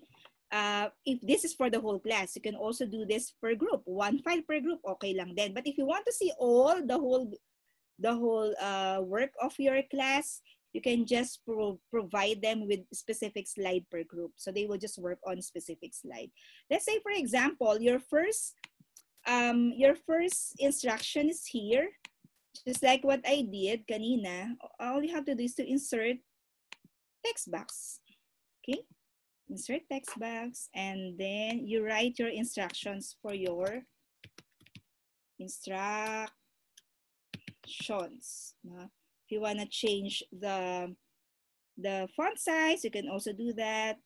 Just the same as what you're doing with your with our PowerPoint presentation. All you have to do is to highlight whatever words or pictures that you want to um, format. Okay, kunwari instructions, ayan, one, two, three. You can also change your um, design ng inyong mga themes. No? You can upload themes. Pwede maging black yan para dahil naging black ito, gagawin ko siyang white. Okay. So, gawin natin siyang white. Alright. So, assuming I have already finished kasi baka buti naman ako pag baka ma-engross ako mag-design ano. um, kunwari natapos ko na yung yung platform yung uh, work file ng aking bata for their group assessment so I want to share it to their Google Classroom okay I want to share it to to I can share it also to their um uh, FB na kung saan siya gustong i-share uh, all you have to do ayaw maalis ng aking screen Okay, all you have to do is to click share. Nakikita po ba ito? Click share. Okay. So if you would like to share it to people or groups using email, you can use this um, tool, ito, no? kung, kung email. Pero dahil link lang kukunin nyo, all you have to do is to get the link, go to the section of get the link, and click it. Okay? Ngayon, uh, syempre, kung ano yung, ano do not make it restricted. It must be anyone with the link. And then since the students will be working on it, it must be click to editor. So meron siyang viewer, commenter, and editor. If you want the students to work with the, for the file or on the file, you have to click the word editor. Okay? Once you are done, do not forget to copy. Sometimes, no, nung, nung One time, uh, I've trained teachers, ma'am, kahit anong copy ko, wala eh. Sige, kung hindi naman lumalabas, eh kasi kiniklik agad yung done. So be sure you click the work, copy link before you click done. Again, get the share, uh, press the share button once you are in this kind of dialog box. Change the restriction part on anyone with the link change the option to editor if the students will be working on that, and then copy link, and then click the word done. And then you can post it to your um, learning management system or to your uh, chat box. Just like here, I would like to, nawala yung aking chat box here. Ah, ito. Okay, kunwari, i, yan, kunwari ipopost ko lang ha, sample lang ito. Okay, so if you want to make it um, tiny, baka meron pa pong hindi nakakaalam, no? Nung kung paano, how will will you shorten your your uh, link, all you have to do para medyo hindi siya messy, all you have to do is to go to tiny.url. Meron pang iba, may deped.ini, pero you have to log in. Mer you have to sign up sa deped.ini. Meron ding um, bit, bit.ly. No? So ito tiny URL very common. So all you have to do is to enter the long, copy paste the long here. Okay. And then make tiny URL. And then you will just copy. So this will be available for your students. And then put this in your chat box or you put this in your Google Classroom o kung ano man yung ginamit mong learning management system or virtual learning environment. Okay, so that's how you will create your, your um, assessment tool using uh, slide, uh, Google Slide no? for group assessment or that can also be for for your students ano, individual work. No? Good for making authentic assessments like posters, uh, group discussions, uh, ano pa ba, uh, gagawa sila ng banners, no? mga campaign materials. Okay, so pwede rin dyan, no? Okay, may question? Masyado po bang mabilis?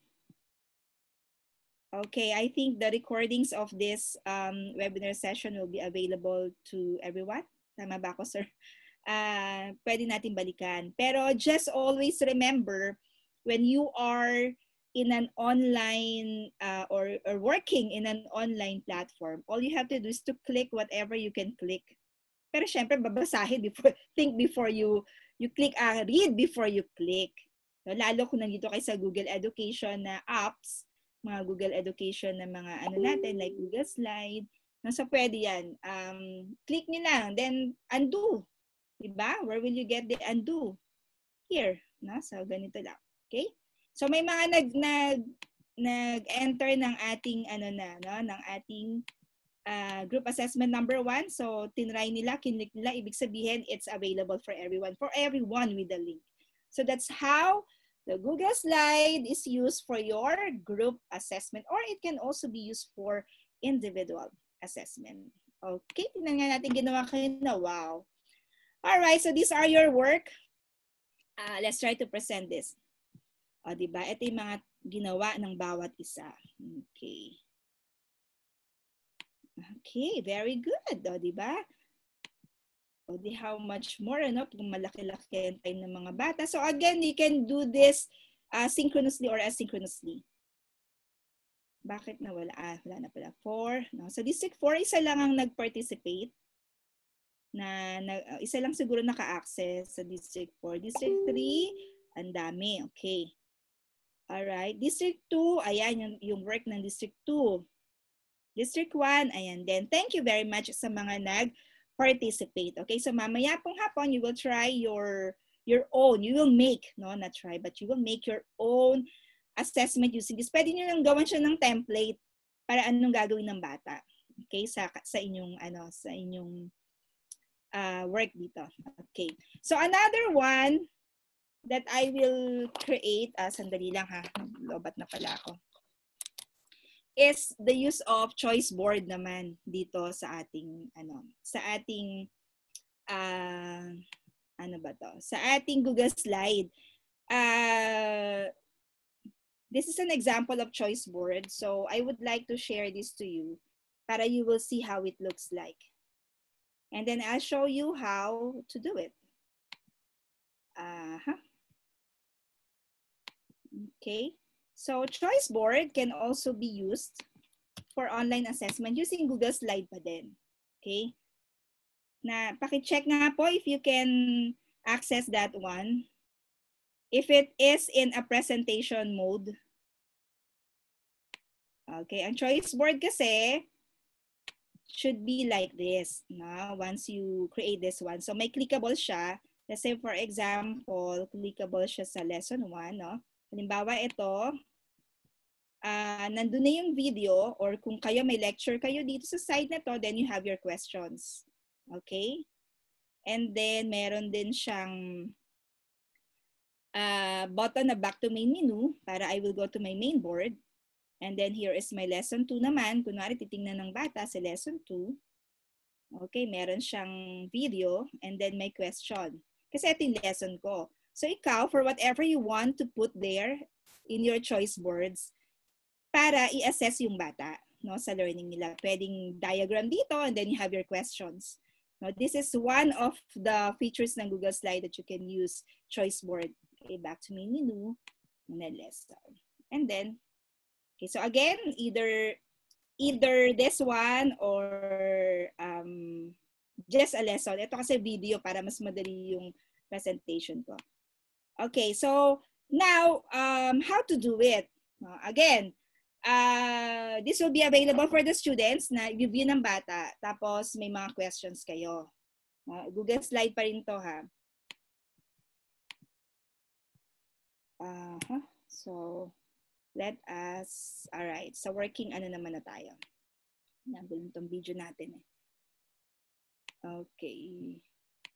All right, how to do it, no? So, just a simple sharing lang ng link to and insert video, insert. Yun lang ang mga kailangan natin. So, um, kunwari, okay, I, I chose um, pictures here. I got it from the internet, yung mga pictures. So, to insert picture that you want to do, all you have to do is to click insert and then image. So since I I got it from the web, so I click search the web o kaya upload from the computer kasi minsan dina-download ko na no, para mabilis the download. So na-create ko na siya halimbawa. Okay. Create ko na siya halimbawa and then I would like to write here for my lesson 1 and then nandun na yung mga questions na ilalagay ko. Okay, so create, magte-text box lang kayo, right? Um, insert text box and then write lesson 1. Kinlik sa lesson 1. And then you have to um, highlight sa lesson 1. And then click insert, click link. Okay? Ang link ko na nasa lesson 1, yung slide number 2. Okay? So I have to click slide number 2 and apply. Kasi bakit? E content ko siya eh. Alright? So para once um, the students will will click lesson 1 o halimbawa ano to, quiz number 1. Okay, quiz number 1. So para halimbawa, na once na nag ano na sila na nag-click sila diyan, makikita nila yung quiz, no? Kung meron kayong video diyan and, and all that. So, pag present mo 'yan, dahil nilagay mo yung link, clickable sa lesson number 1, pupunta siya dun sa slide number 2. Okay? And then, sa aking slide number 2, after they read something about here or they answered something, answered questions here on this slide, they have to go back kasi to their, to the second one, ano, to, to the, they have to go back to the main board. This is my main board.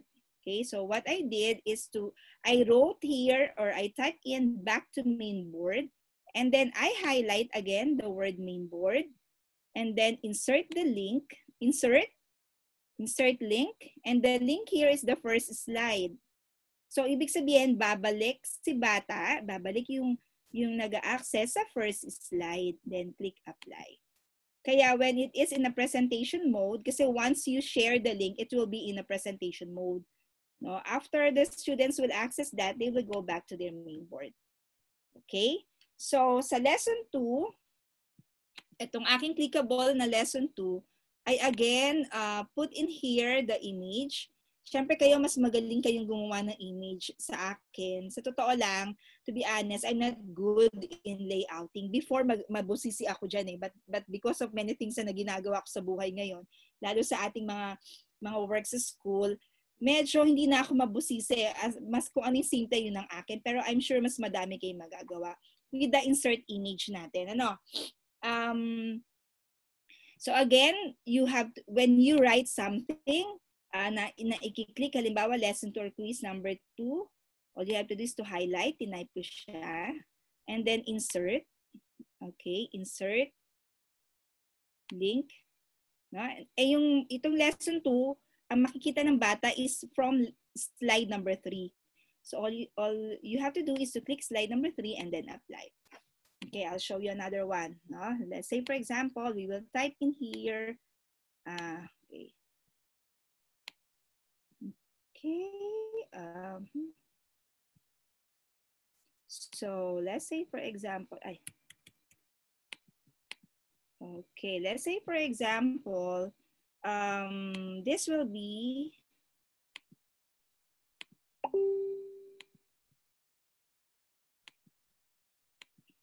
na-zoom natin. Teka lang.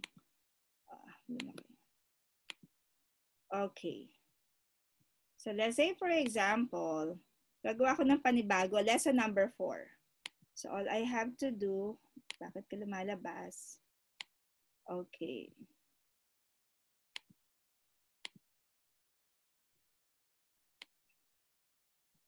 Okay, so kakopy ko lang yung ating image. Again, if you wanna create your own image, you can do that. Pwede kayo mag-insert ng mga emojis and all that. Tapos, susulatan ko siya kunwari ng lesson number 4 o kaya quiz number quiz number 5 or item number 5. Quiz 5. Para pareho na lang. Lesson number 4. Okay, sa so lesson number 4, so andyan na, in-edit edit lang ng konti. Okay, and then I want it to be clickable. So, syempre, yung lesson 3 ko, ito yung 4. Ah, ito yung lesson 3, nasa slide number 4. Okay, so gagawa ako ng panibago para makita ninyo. So, slide. Okay, so halimbawa, alright. So, ang lesson 4 ko will be from slide number 5. Kasi when you see when you look at the button, when you click lesson number three, if we're going to make the presentation available, lesson number three, you copy it, ay, you copy, you, you click it. Okay, let's present again. Okay, lesson number three, when you click it, you will be, the student will be directed to the slide where I intended to for the lesson number three, halimbawa. Okay, then andyan yung mga questions ko na itatanong. Right? And then, uh, pag gusto nang pumunta sa unahan, back to main board. Alright? So, 1, 2, 3. So, gawin uli natin sa lesson number 4. So, nag-insert ako, nag-design ako, then I inserted my word lesson number 4. And then, insert link. So, ang link niya will be slide number 5. No, dahil wala pa ako nasa slide number 5, kailangan ko muna maglagay. Hindi, hindi kasi siya magiging available. So let's say for example, mag-insert ako ng image na upload from computer. Kuha tayo ng image sa ating picture lang halimbawa, no? Okay, kunwari ito. Ayan, magpipicture lang, no? Sample lang natin. Okay, so kunwari, this will be my next question. All right, so ilagay ko dyan. And then I would like to ask some question regarding that lesson. So insert text box, write your questions. Question number one, number two, number three. Okay, so tapos na kunwari yung question. And then I will insert text box again. Right here, back to main, main board. Kasi hindi makakabalik yung bata. Okay. All right, so once they, uh, again, you have to highlight this one and then insert link syempre babalik yung bata sa first slide. Okay, then apply. Okay, babalikan ko ngayon yung aking slide number 1 on lesson number 4. Okay, again, highlight the word lesson number 4. And then insert, choose the word link. Okay, slide number 5. All right, so available na si slide number 5. Dali lang. Again, insert link slide in this presentation. Slide number 5. Ay, hindi ko makita si slide number 5. Okay, slide number 5 siya dapat. Alright, so insert link. Okay, last slide. Apply. Okay, that's why when you make it available for presentation. When you share it, the students will click it. And then the students will be directed to your slide for that lesson. So again, back to main board.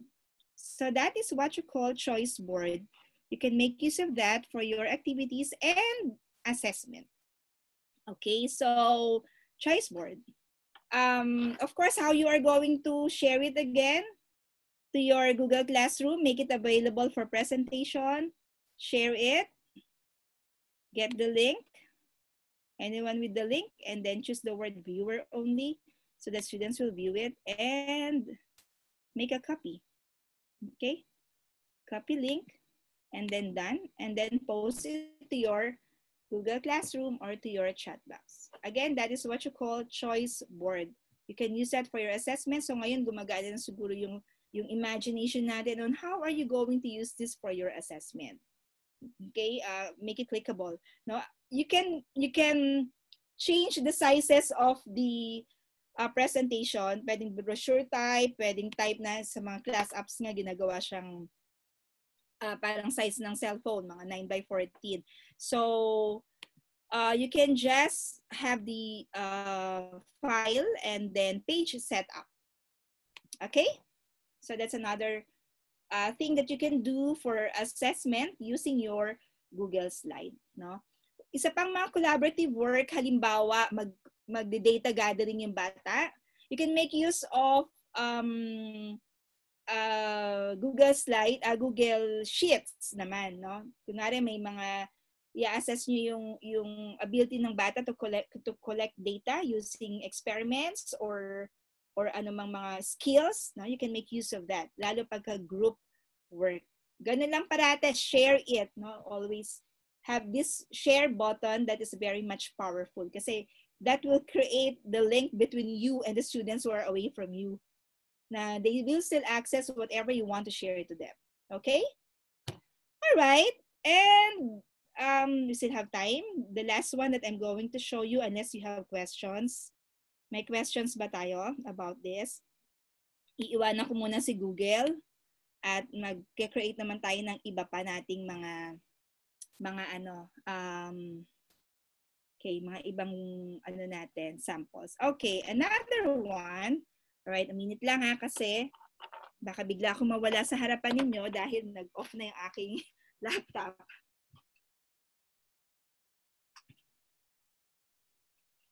Okay. Right. Ayan. Okay. So, the next tool that I want to share to everyone is um, an engaging, fun and engaging online assessment tool, which is known as the Flippity. Last time, nag, nag-discuss ako if you want para sa mga grade 7, lalo na grade 8. Uh, EduCandy is one of the the engaging game din, no? Na you can create, may mga words doon. Siguro papakita ko din yung EduCandy. Uh, you go to educandy.com. That is another online tool that you can use, mga engaging games no, to assess learning. So all you have to do is to sign in. Tapos, you will create an account. Once you create an account, you will be directed to creating activities. These are already template. May word search, knots and crosses, crosswords, and hangman. Okay, these are free. But again, for more complicated and level up uh, applications, may premium. But we can make use of the hangman, crosswords, and word search already. So if you want to include that, to assess yung, for your assessment, you can just go to educandy.com. Okay? Uh, it's very fun, very ano yan, user ano yan, friendly. So you can uh, type in, just type in your answers. Uh, questions and answers, of course. Okay, next one is, hindi ko ma-access, ang Flippity. Okay. All right. Next one is flippity.net. Okay? Sa flippity.net, this has so many uh, tools that you can use. Okay? Mga games siya, sort of game na mag, mag, instead of yung quiz mo ay just parang traditional quiz na 1 to 5 and all that, you can use this for assessment. Like etong flashcards, hindi lang naman to for math ang flashcards eh. The first thing that you need to do is to go to flippity.net and this will be available already may mga template. So, like for example, if you will use flashcard, okay, meron ditong demo, instructions, and template. Okay? So, just click the template. Make a copy of the document.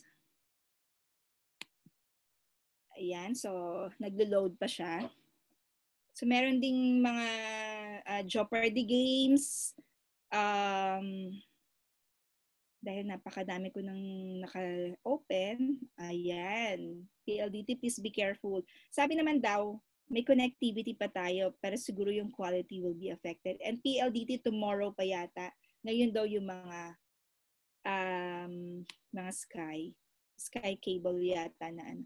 Okay, anyway, uh, going back to Flippity, so para makakreate kayo ng flashcards, yung Flippity kasi puro template na to. All you have to do is to change change kung ano yung nandito sa ano nila. Like this one, these are already template. Kung nakikita nyo, capital of Malaysia, Kuala Lumpur, Blue. You don't have to change the format. All you have to do is to type in. Let's say, for example, sa multiplication table para sa mga math, lalagay nyo, uh, square root of 2, square root of 2, square root of, ano, kung whatever is that, no?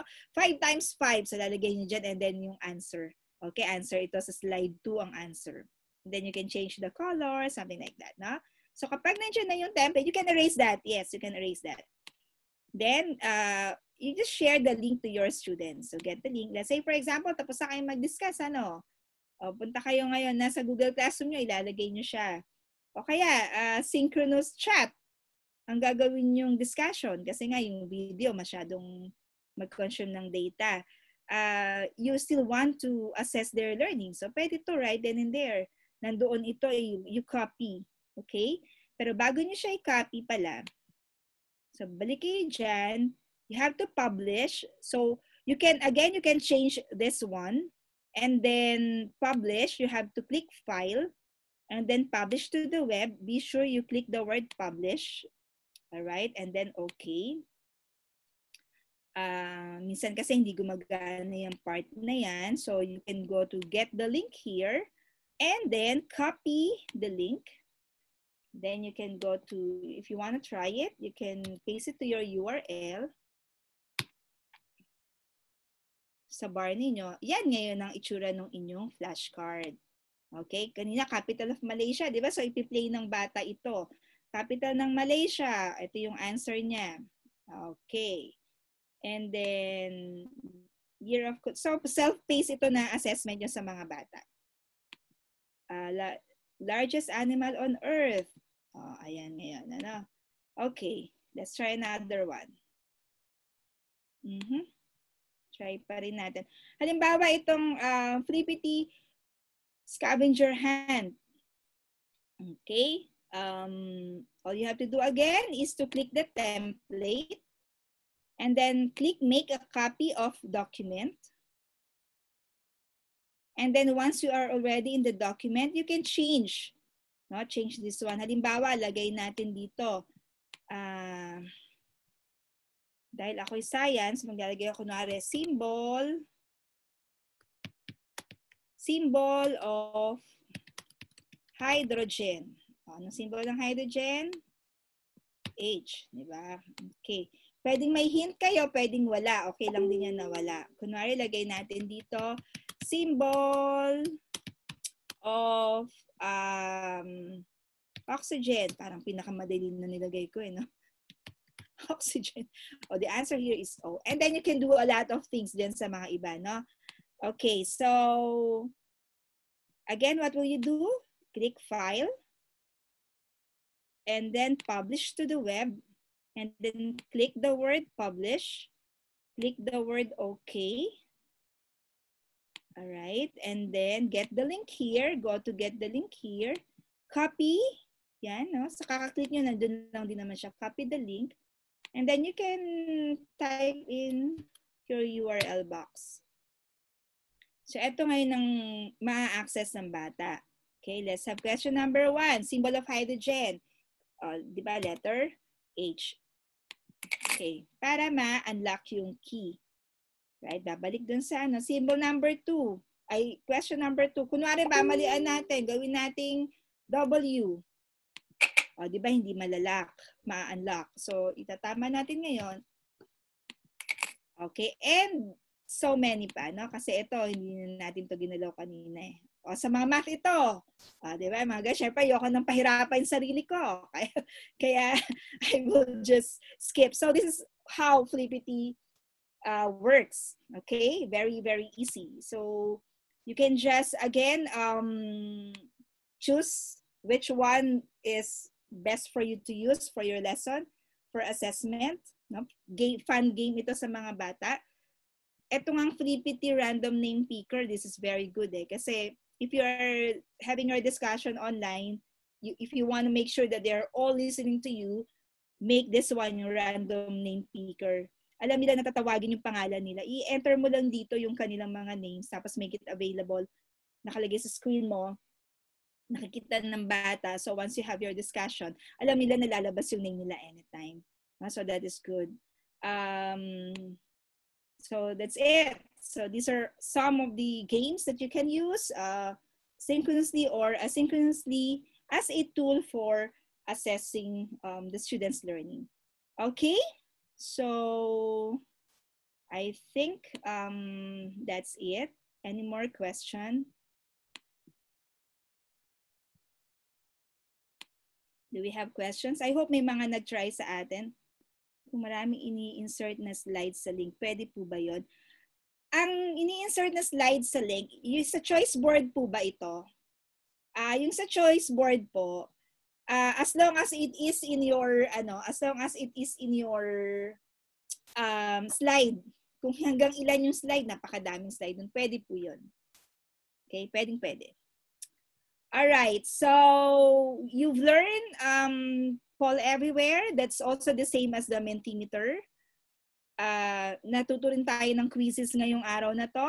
Um, naglaro din kayo ng quizzes and you've seen the difference between quizzes and Kahoot. So almost the same yan ng the way you create your your online games or as form ng assessment mo. Um, all you have to do is to create an account, type in, once you're in, type in your questions, and then ready for you, the presentation to your classes. Both of these, this can be used as synchronous no, na, na way or self-paced ng bata, just share the link to your Google Classroom. Okay? And um Okay. And then uh what else? You've also learned how how to make use of the Google Slide for collaborative um work, no? Group work ng bata natin for assessment, okay? So meaning this can be used for activities and this can be used also these tools can be used to assess. So whatever your discussion for the day, be sure you will make you will include assessment, no? Kasi nonsense ang lesson natin if you will not assess if they got or learned kahit na asynchronously. Okay? Kahit na asynchronously. And you've learned also yung mga games natin like Edu Candy, uh, what else? Yung Flippity, napakadami niyan. Kaya na may mga binanggit din kaming iba't iba pang tools na you can try it on your own.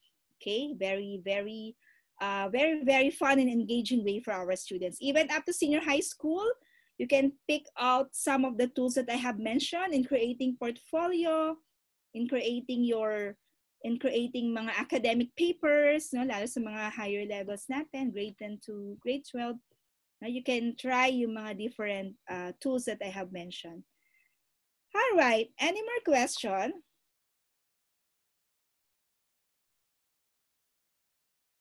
Makikita din po ba ang scores ng students? Yeah, sila makikita nila sa ibang mga, kasi scores, like for example, if they played Flippity, kung ilan yung yung ano nila, yung ilan yung nabuksan, na open, na unlock, na na padlocks, oh, that corresponds to their scores. Okay? So makikita 'yon nila no lalo pag self-paced ito. Okay? Pag mga games na ganyan, mostly these are not really for ano for for recordings na natin para gradean, no? For them to assess din yung yung hanggang saan yung natutunan ng bata ngayon. And we're making it in a fun way. Kaya we are um, we are inviting you to use this kind of um, tools, lalo self-paced ang mga bata natin ngayon. Okay? Ma'am, downloadable po ba ang result scores ng learners ng Flippity? Ah, uh, parang hindi. Hindi siya kasi mga games ito, mga friends eh, no? Um, I haven't tried the premium one even sa mga sa mga Edu Candy and ano kasi parang I I I've read sa mga ano ng na pwede may may personalized pero it's on a premium one na eh. So so ako, kung ano lang yung easy reach nating lahat, lalo't available for free, I go for that. Okay. Okay po. Any more? Any more questions? I think si Sir, Sir Raynette, meron pa po ba kayong idadagdag for... Ang tanong, paano po magiging premium account sa mga apps? Meron sila dong ano, meron sila lagi dong purchase. Okay, merong purchase. So, if it's, if it's, um, if it's not that much expensive, uh, I'm sure there are teachers who are willing to spend for that. Kasi ako dati dahil lalo na kapag it only costs for nakakapag kape nga ako ng almost 200 pesos eh tapos ang monthly is only 500 why not no for my students naman. So okay po yan but of course you are not required to do that because there are free access no? And what we have shown you these are all free you can access that for free okay uh, meron pa po ba May share lang, ma'am, for uh, to conclude, ma'am, everything. Thank uh, you. Po. And then I will give the output po. Okay. So, uh, before we give the output, let us have some um, research ideas. Now, now, there are seven principles of effective online assessment according to PALOF and PATH of 2009. So you can um, use this as your own, uh, as, uh, ba- uh, as a basis for your self-reflection on how you will implement effective online assessment. So the first one is design learner-centered assessment that includes self-reflection. So yung pinakita po namin kayo ni Ma'am Intatano, um, those are learner-centered and also include self-reflection. So you can choose from the variety of choices that we've catered to you. Pangalawa po, design and include grading rubrics for assessment. Now, it, this is quite challenging to all of us um, since grading nowadays is quite an issue. Grading grading is quite an issue. Pero I mean, if there are certain activities na sa tingin nyo naman can uh, certain platforms like Google Classroom that can help you um, record something, do it. No? Include collaborative assessment. So yung pinakita ni Ma'am Intatano, yung yung ini-encourage natin yung mga bata to to collaborate like yung ginawa niyo kanina sa mga slides sa Google Slides. And then assessment techniques that is fit and aligned with the milk. Then um, design assessment that is clear, easily to understand, and likely to work with an online environment. So nakita niyo po yung mga presentations namin is just simple kasi kino-consider po namin yung bandwidth ng mga applications na ginagamit namin. So technically, use a bandwidth that is friendly, clear, specific, and also user-friendly din sa mga estudyante natin. And of course, ask for incorporate student input. Now, since grading is an issue nowadays, mahalaga po na may panghawakan pa rin tayong mga task or mga inputs coming from the students. So, um, all of the tech tools na present po namin can give excellent and very good inputs. So might as well document it para just in case na there are certain uh, changes in the future on how we can now grade students for online classes, meron tayong mga panghahawakan. Okay? So, thank you po.